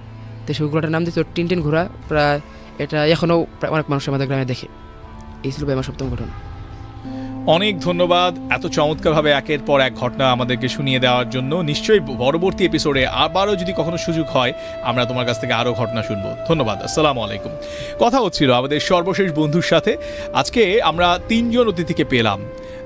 এবং ভালো লাগছিল আমার যে এখানে ব্যবসায়ী, চাকুরিজীবী, মাদ্রাসার স্টুডেন্ট তিনজন তিন জায়গা থেকে এসেছিলেন এবং তারা তাদের জীবনের ভৌতিক অভিজ্ঞতাগুলো বলে গেলেন। তো সব কিছু মিলিয়ে ভূত স্টুডিওর ব্যাপারে আমার একটা নিজের অবজারভেশন বা নিজের একটা মতামত আপনাদের সাথে শেয়ার করতে চাই। সেটা হচ্ছে যে বাংলাদেশে অনেক রেডিও স্টেশন এসেছে, অনেক রেডিও স্টেশন বন্ধ হয়ে গেছে, অনেক রেডিও স্টেশন এখনও চলছে। বাট জাগো এফএম হচ্ছে সেই জায়গাটা যেটা আসলে চেষ্টা করছে আপনাদেরকে শুরু থেকেই এর যাত্রা থেকে সবসময় আপনাদের সাথে একসাথে পথ চলার। অর্থাৎ লিসেনাররা কি চায়? লিসেনার কীভাবে চায়? তো ভূত স্টুডিওটা আমি দেখলাম যে লিসেনাররা আসলে গল্প শুনতে চায় অ্যান্ড প্রচুর গল্প শুনতে চায়। তো আজকে আমাদের সর্বশেষ যে গেস্ট আপনারা খেয়াল করে দেখবেন, সে কিন্তু অনেকগুলো গল্প শোনা গেছে। তো এটার রিজন হচ্ছে, আমিও কিন্তু এখন আর থামাই না কাউকে। আমার কাছে মনে হচ্ছে যে আচ্ছা এস এম এস ফেসবুকে কমেন্ট তো সব শোতেই পড়ে, এটা নতুন কি? তো তার চেয়ে বেটার আমরা যদি কিছু নতুন অভিজ্ঞতা শুনি, রাতেবেলা যে উদ্দেশ্য নিয়ে ভূত স্টুডিওটা শুনতে বসছে, সেটা শুনি। তো কেমন হয়? তো লিসনারদের সাথে আমি একটু এই জায়গাটায় একমত। যে, না, আমার মনে গল্প শোনানো উচিত বেশি বেশি। তো এই জন্য আমি আসলে কম কম ইদানিং ব্রেকও নেই, কম কম মাঝ, মাঝখানে ইন্টারাপ্ট করি। আমার মনে হয় ঠিক আছে, উনি গল্প বলছে, গল্প বলুক, মাঝে মধ্যে সুযোগ পেলে আমি এসে বন্ধুদেরকে বলে দিব যে, কীভাবে আপনি আগের পর মানে নেক্সট পর্বে আসবেন। সো নেক্সট পর্বে যদি আপনি আসতে চান ভূত স্টুডিওতে তাহলে মোবাইলের ম্যাসেপশনে যাবেন, গিয়ে টাইপ করবেন আর বিএস একসাথে লিখবেন স্পেস দিয়ে নিজের নাম লিখবেন স্পেস নিজের লোকেশন আর স্পেস দিয়ে নিজের প্রফেশন টাইপ করবেন। তারপর পাঠিয়ে দেবেন আমাকে two six nine six nine এই নাম্বারটিতে। আপনারা জানেন যে ভূত স্টুডিও শোটা আমরা কিন্তু শুরু করেছি প্রায় সাত বছর চলতেছে জাগো এফএমে অনেক দিনের একটা পুরনো শো তাই না? তো এই শোটা আসলে এখনও অবধি কেন চলছে? কারণ আমাদের লিসেনাররা কি বলে? আমি যদি কয়েকটা কমেন্ট পড়ি, আমি একটু বেছে বেছে কিছু কমেন্ট আলাদা করতেছিলাম। ওই যখন আমার লাস্ট স্টোরি টেলার গল্পটা বলছিলেন, যেমন তাদের মধ্যে একজন বন্ধু যার নাম হচ্ছে আব্দুল রহিম, তিনি বলছেন যে, ভাই টেনশন হয় যখন মাঝে মধ্যে ভূত স্টুডিও টা শুরু হতে দেরি হয়। ভাবি যে আজকে হবে কি হবে না। তো চিন্তা করেন, একটা রেডিও শো যদি এক দুই মিনিট পরে শুরু হয়, তাতে আমাদের বন্ধুদের টেনশন হয়। তার মানে কি, এই শোটা তার কতটা ভালোবাসার? আপনি কিন্তু টেনশন তখনই কোনো জিনিস নিয়ে করবেন যখন ওইটার প্রতি আপনার ভালোবাসা কাজ করবে। আপনার দেখবেন আপনার একটা প্রিয় মানুষ, সে আসলে বাসায় পৌঁছায় না টাইমলে আপনার প্রচণ্ড টেনশন হচ্ছে। কারণ মানুষ আপনার খুব প্রিয়। এরপরে দেখেন আরবার লিখেছে আমাদেরকে এমদাদ ভাই। তিনি বলছেন যে এক সময় রাত জাগতাম আর হচ্ছে বিভিন্ন রেডিও খালি স্ক্রল করতাম, কখন কোনটা শুনব, কিন্তু কোনোটাই ভালো লাগতো না। এরপর এক সময় আটকে গেলাম জাগো এফ এর ভূত স্টুডিওতে, এখন আর মন কোথাও যেতে চায় না। এর চেয়ে বড় আর বার্তা কি হইতে পারে? মানে আপনি এক সময় রাতের বেলা শুধু খালি স্ক্রল করতেন, এইটা এইটা শুনব না ওইটা শুনব, এখন একটা জায়গায় আপনি স্থির হয়ে গেছেন, যেটা হচ্ছে জাগো এফ এর ভূত স্টুডিও। সো এটা একটা বিশাল বড় ব্যাপার না আমাদের জন্য, বলেন? মিমি আক্তার লিখতেছে যে বয়ফ্রেন্ডের সাথে তার ঝগড়া হয়েছে তার কিছুই ভালো লাগতেছিল না। এরকম একটা সময় সে রেডিও টিউন করছে আর জাগো এফএমের ভূত স্টুডিও শুনতেছে, তার ভালো লাগতেছে। তো এইটা কিন্তু একটা বড় মেসেজ যে একজন মানুষের মন খারাপ, তার কিছুই ভালো লাগতেছিল না, তার বয়ফ্রেন্ডের সাথে ঝগড়া হয়েছে, এই সময় সে ভূত স্টুডিও শুনতে গিয়ে তার মন ভালো হয়ে গেছে। সো আই হোপ আপনি পরবর্তী এপিসোডে আমাদেরকে জানাবেন যে বয়ফ্রেন্ডের সাথে যে ঝগড়া সেটা আপনার আবার ঠিকঠাক হয়ে গেছে কিনা। আজিজুল ইসলাম লিখছে, ভাই, আজকের এপিসোডটা আমার কিন্তু খুব ভালো লাগছে। ওকে থ্যাংক ইউ আপনার ভালো লাগছে শুনে আমারও ভালো লাগল। আমাদের সাথে জয়েন করেছেন এদিকে শেখ মোস্তফা কামাল। ভূত স্টুডিও আমার খুব পছন্দের একটা শো আমি আমার পরিবার নিয়ে শুনি। আমার স্ত্রী এবং সন্তান সবাই এই এপিসোডটা পছন্দ করে। আমি ফেসবুক থেকে আপনাদের লাইভটাও দেখি। এটা কিন্তু অনেক বড় একটা ব্যাপার। দেখেন, মানুষ বলে যে ডিজিটালি মানুষ এখন অনেক বেশি মানে এঙ্গেজড ফেসবুক ইউটিউবের থ্রুতে বা বিভিন্ন রকমের ওটিটি প্ল্যাটফর্মে রেডিও আর কয়জন শুনে? ট্রাস্ট মি রেডিও লিসেন আরও বাড়াই দিছে ডিজিটাল প্ল্যাটফর্মগুলো এসে কারণ আগে যেই লোক ফেসবুক বা ইউটিউবের মাধ্যমে মানে ধরেন মানে আমরা তো আগে এই শোগুলার ফেসবুক বা ইউটিউবে দিতাম না। তো যার কারণে তখন যারা ফেসবুক ইউজার বা ইউটিউবে শুধু কানেক্টেড থাকতো, তারা আর রেডিও পর্যন্ত আসতো না। এখন আমাদের এই শোগুলো ফেসবুক এবং ইউটিউবে দেখা যায় বলে সেখানে কন্টেন্ট হিসেবে লোকে এই কন্টেন্টগুলো দেখে। এবং না দেখলে এই যে এই ভিউগুলো থেকে আসে? আপনারা দেখেন আমার এপিসোডগুলো ভূত স্টুডিওর মানে যে ভিউগুলো আসে সেগুলো অনেক মানে ভালো ভালো কন্টেন্টের চাইতেও অনেক বেশি বেশি ভিউ পায়। কেমনে পায়? এটার রিজনটা হচ্ছে যে দিন শেষে মানুষ আসলে গল্প শুনতে চায়। আর গল্প শোনার প্রতি লোভ সবারই আছে। আমরা দেখবেন যে যতই বড় হই না কেন, কেউ যখন একটা গল্প বলে, তখন কিন্তু শুনতে ইচ্ছা করে। মানে story telling it's different part মানে আমার কাছে মনে হয় এখন হ্যাঁ কোনো গল্প আপনাকে অনেক বেশি ভয়ঙ্কর অনুভূতি দিবে, কোনো গল্প হয়তো আপনাকে খুব বেশি ভয় দিবে না বাট তারপরে মনে হবে আচ্ছা ওই সিচুয়েশনে আমি থাকলে কি করতাম? আচ্ছা আমি গ্রামের বাড়িতে গেলে যদি এরকম একটা ঘটনা আমার সাথে ঘটে, কিংবা আমি যদি রাতের বেলা যখন বাসায় একা একা ঘুমাই, আমার সাথে যদি এরকম একটা ঘটনা ঘটে, এরকম একটা ভীতি কিন্তু আসে। আর এই অ্যাডভেঞ্চার নিতে মানুষ পছন্দ করে। ম্যাক্সিমাম মানুষই আসলে একটু অ্যাডভেঞ্চার পছন্দ করে। মানে খুব কম সংখ্যক মানুষ আছে যারা আসলে দূর, না, এগুলো বোরিং ভাবে বাট অনেক মানুষই আছে যারা, আপনি দেখেন একটা মুভি হরর মুভি মুভি আপনি জানেন যে এটা ডিরেক্টর আছে, এটা অভিনেতা, অভিনেত্রী আছে ক্যামেরা অ্যানিমেশন সব কিছু কাজ করে একটা হরর মুভি বানানো হয়েছে। তারপরেও কিন্তু আপনি হরর মুভিটা দেখেন, আবার ভয়ও পান। এটা মানেটা কি? মানে হচ্ছে মানুষ জেনে শুনে ওটা দেখে এবং সে ভয় পাইতে চায়। ভেরি ইন্টারেস্টিং এবং সেই বয়স সীমাটা কিন্তু ওই টিনেজার না, একজন চল্লিশ, পঞ্চাশ বছর বয়সের লোকও দেখবে যে সে বাসায় বেলা ওই বাসায় হরর মুভি দেখতেছে বসে বসে এবং লাইট টাইট অফ করে বসছে। কেন? যেন একটা হরর ফিল আসে। তো দিস ইজ ভূত স্টুডিও এরকম টাইপের একটা শো যেটা আসলে সব বয়সী বাঙালি বন্ধুদেরকে আমরা টাচ করার ট্রাই করছি। স্কুল কলেজ ইউনিভার্সিটি মাদ্রাসার বন্ধুদের পাশাপাশি আমার, আপনার বয়সী কিংবা আমাদের চেয়ে বয়োজ্যেষ্ঠ যারা, আমাদের বাবা, মা, দাদা, দাদু, তাদের বয়সী বন্ধুদেরকেও আমরা টার্গেট করি। তাদেরকে টার্গেট করে গল্পগুলো তৈরি করার চেষ্টা করি এবং শোনানোর চেষ্টা করি। গল্প আসলে তৈরি করার কথা যেটা বললাম, এটা একেবারে রং এটা আমার হাতে না, এটা আমাদের লিসনার যারা এখানে আসেন, যারা রেজিস্ট্রেশন করেন, তারাই আসলে বলেন। এবং আপনি যদি চান আগামী পর্বে আপনি আসবেন, আপনার কাছে থাকা ঘটনাগুলো বলতে, তাহলে এখনই মোবাইলের ম্যাসেপশনে চলে যান, গিয়ে টাইপ করেন আর বিএস স্পেস নিজের নাম, নিজের লোকেশন আর প্রফেশন লিখে পাঠায় দেন two six nine six nine নাম্বারে। ভূত স্টুডিও নিয়ে আপনার যদি মানে কোনো মতামত থেকে থাকে, ভালো, খারাপ যা কিছু, সেটা আমাকে ইনবক্সে জানাতে পারেন, আমার একটা পেজ আছে। যারা জাগো এফ এম কিংবা আরজি উদয়ের বন্ধু, তারা জানেন, যারা জানেন না, তারা হয়তো নতুন, তাদের জন্য বলছি ফেসবুকে গিয়ে আরজি উদয় দিয়ে সার্চ করবেন। দেখবেন একটা পেজ আসবে, যেখানে ব্লু টিক মার্ক দেওয়া আছে হ্যাঁ? টু পয়েন্ট সিক্স মিলিয়নের মতো পিপল এখানে কানেক্টেড আছে। সো আপনি এই পেজটাতে যখন যাবেন, তখন এইখানে আপনি দেখবেন যে আপনি কানেক্টেড আছি আপনার সাথে। ওখানে মেসেজ অপশানে আপনি গিয়ে মেসেজ পাঠাতে পারেন, যেটা সরাসরি আমার কাছে চলে আসবে। এছাড়া আমি বিভিন্ন ভিডিও তৈরি করি, সেই ভিডিও নিচে কমেন্ট করতে পারেন আপনি। সো এই পেজটা আপনাদের পেজ বেসিক্যালি এটা জাগো এফএমএল লিসনারদের পেজ তারা এখানে বেশিরভাগ সময় কানেক্টেড থাকে। তাদের সাজেশন অনুযায়ী পরবর্তী এপিসোডগুলো আমি তৈরি করার চেষ্টা করি। উই হ্যাভ এ পেজ যেটা জাগো এফ এর page W W W dot Facebook dot com slash Jago F M and most important এই পেজে শুধু ভূত স্টুডিও না প্রচুর শোয়ের কন্টেন্ট আপনারা পাবেন। এখানে বিভিন্ন রকমের টিকটক সুপারস্টার বিভিন্ন রকমের সেলিব্রিটি বিভিন্ন রকমের লাভ স্টোরি জীবনভিত্তিক গল্প, ভালোবাসার গল্প এই ভৌতিক গল্প সব রকমের সমন্বয়ে জাগো এফ এর পেজটা কানেক্টেড থাকে এবং এভরিডে এখানে নতুন নতুন কন্টেন্ট আসে। এটা দেখতে পারেন। এই পেজটা আপনি লাইক বা কমেন্ট যদি ফলো দিয়ে রাখেন, এখানেও আপনি কন্টেন্ট পাবেন কন্টেন্টগুলো আপনার মানে চলতি পথে অনেক ভালো ভালো সময় আপনাকে দিবে, যেগুলো আপনার কাছে মনে হবে, ও, একটা নতুন গল্প দেখলাম, নতুন একটা ঘটনা শুনলাম, বাস, ভালোই তো লাগল। এই ফিলটা আপনাকে দিবে আর কি। এটা আমার বিশ্বাস। তো আজকের মতো আমি বিদায় নেই। থার্সডে নাইট সো এখন বিদায় নিতে হবে এবং আই হোপ যে আজকের এপিসোডটা আপনাদের ভালো লেগেছে। অ্যান্ড এখন অনেকে ঘুমাবেন, অনেকে আবার সেই পর্যন্ত জেগে থাকবেন সো সব কিছু মিলে যারা জেগে থাকবেন তাদের জন্য শুভকামনা। আর যারা ঘুমায় পড়বেন তারা টাইমলেস এরিতে উঠে যাবেন। অ্যান্ড নেক্সট পর্বে আবার নতুন কিছু বন্ধুদেরকে নিয়ে আমি হাজির হয়ে যাব। টিল দেন খুব ভালো থাকেন সুস্থ থাকেন। Jago F M ninety four point four শুনতে থাকেন। শুভরাত্রি আল্লাহ হাফেজ। আসসালামু আলাইকুম। হ্যালো গাইস দিস রাফসান ছোট ভাই। আমি নাকি সবকিছু রিভিউ করতে পারলেও এই বিস্কিটটা নাকি রিভিউ করতে পারব না।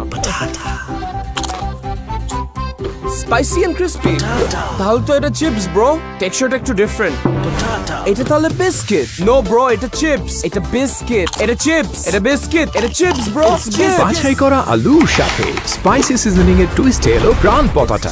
গাইস থামো। এটা চিপস নাকি বিস্কিট কে বুঝে নাও। হ্যালো গাইস দিস রাফসান ছোট ভাই। আমি নাকি সবকিছু রিভিউ করতে পারলেও এই বিস্কিটটা নাকি রিভিউ করতে পারব না। স্পাইসি এন্ড ক্রিস্পি তাহলে তো এটা চিপস ব্রো টেক্সচারটা একটু ডিফারেন্ট এটা তাহলে বিস্কিট নো ব্রো এটা চিপস এটা বিস্কিট এটা চিপস এটা বিস্কিট এটা চিপস ব্রো বাছাই করা আলু সাথে স্পাইসি সিজনিং এর টুইস্ট এলো প্রাণ পতাটা। গাইস থামো। এটা চিপস নাকি বিস্কিট কে বুঝে নাও।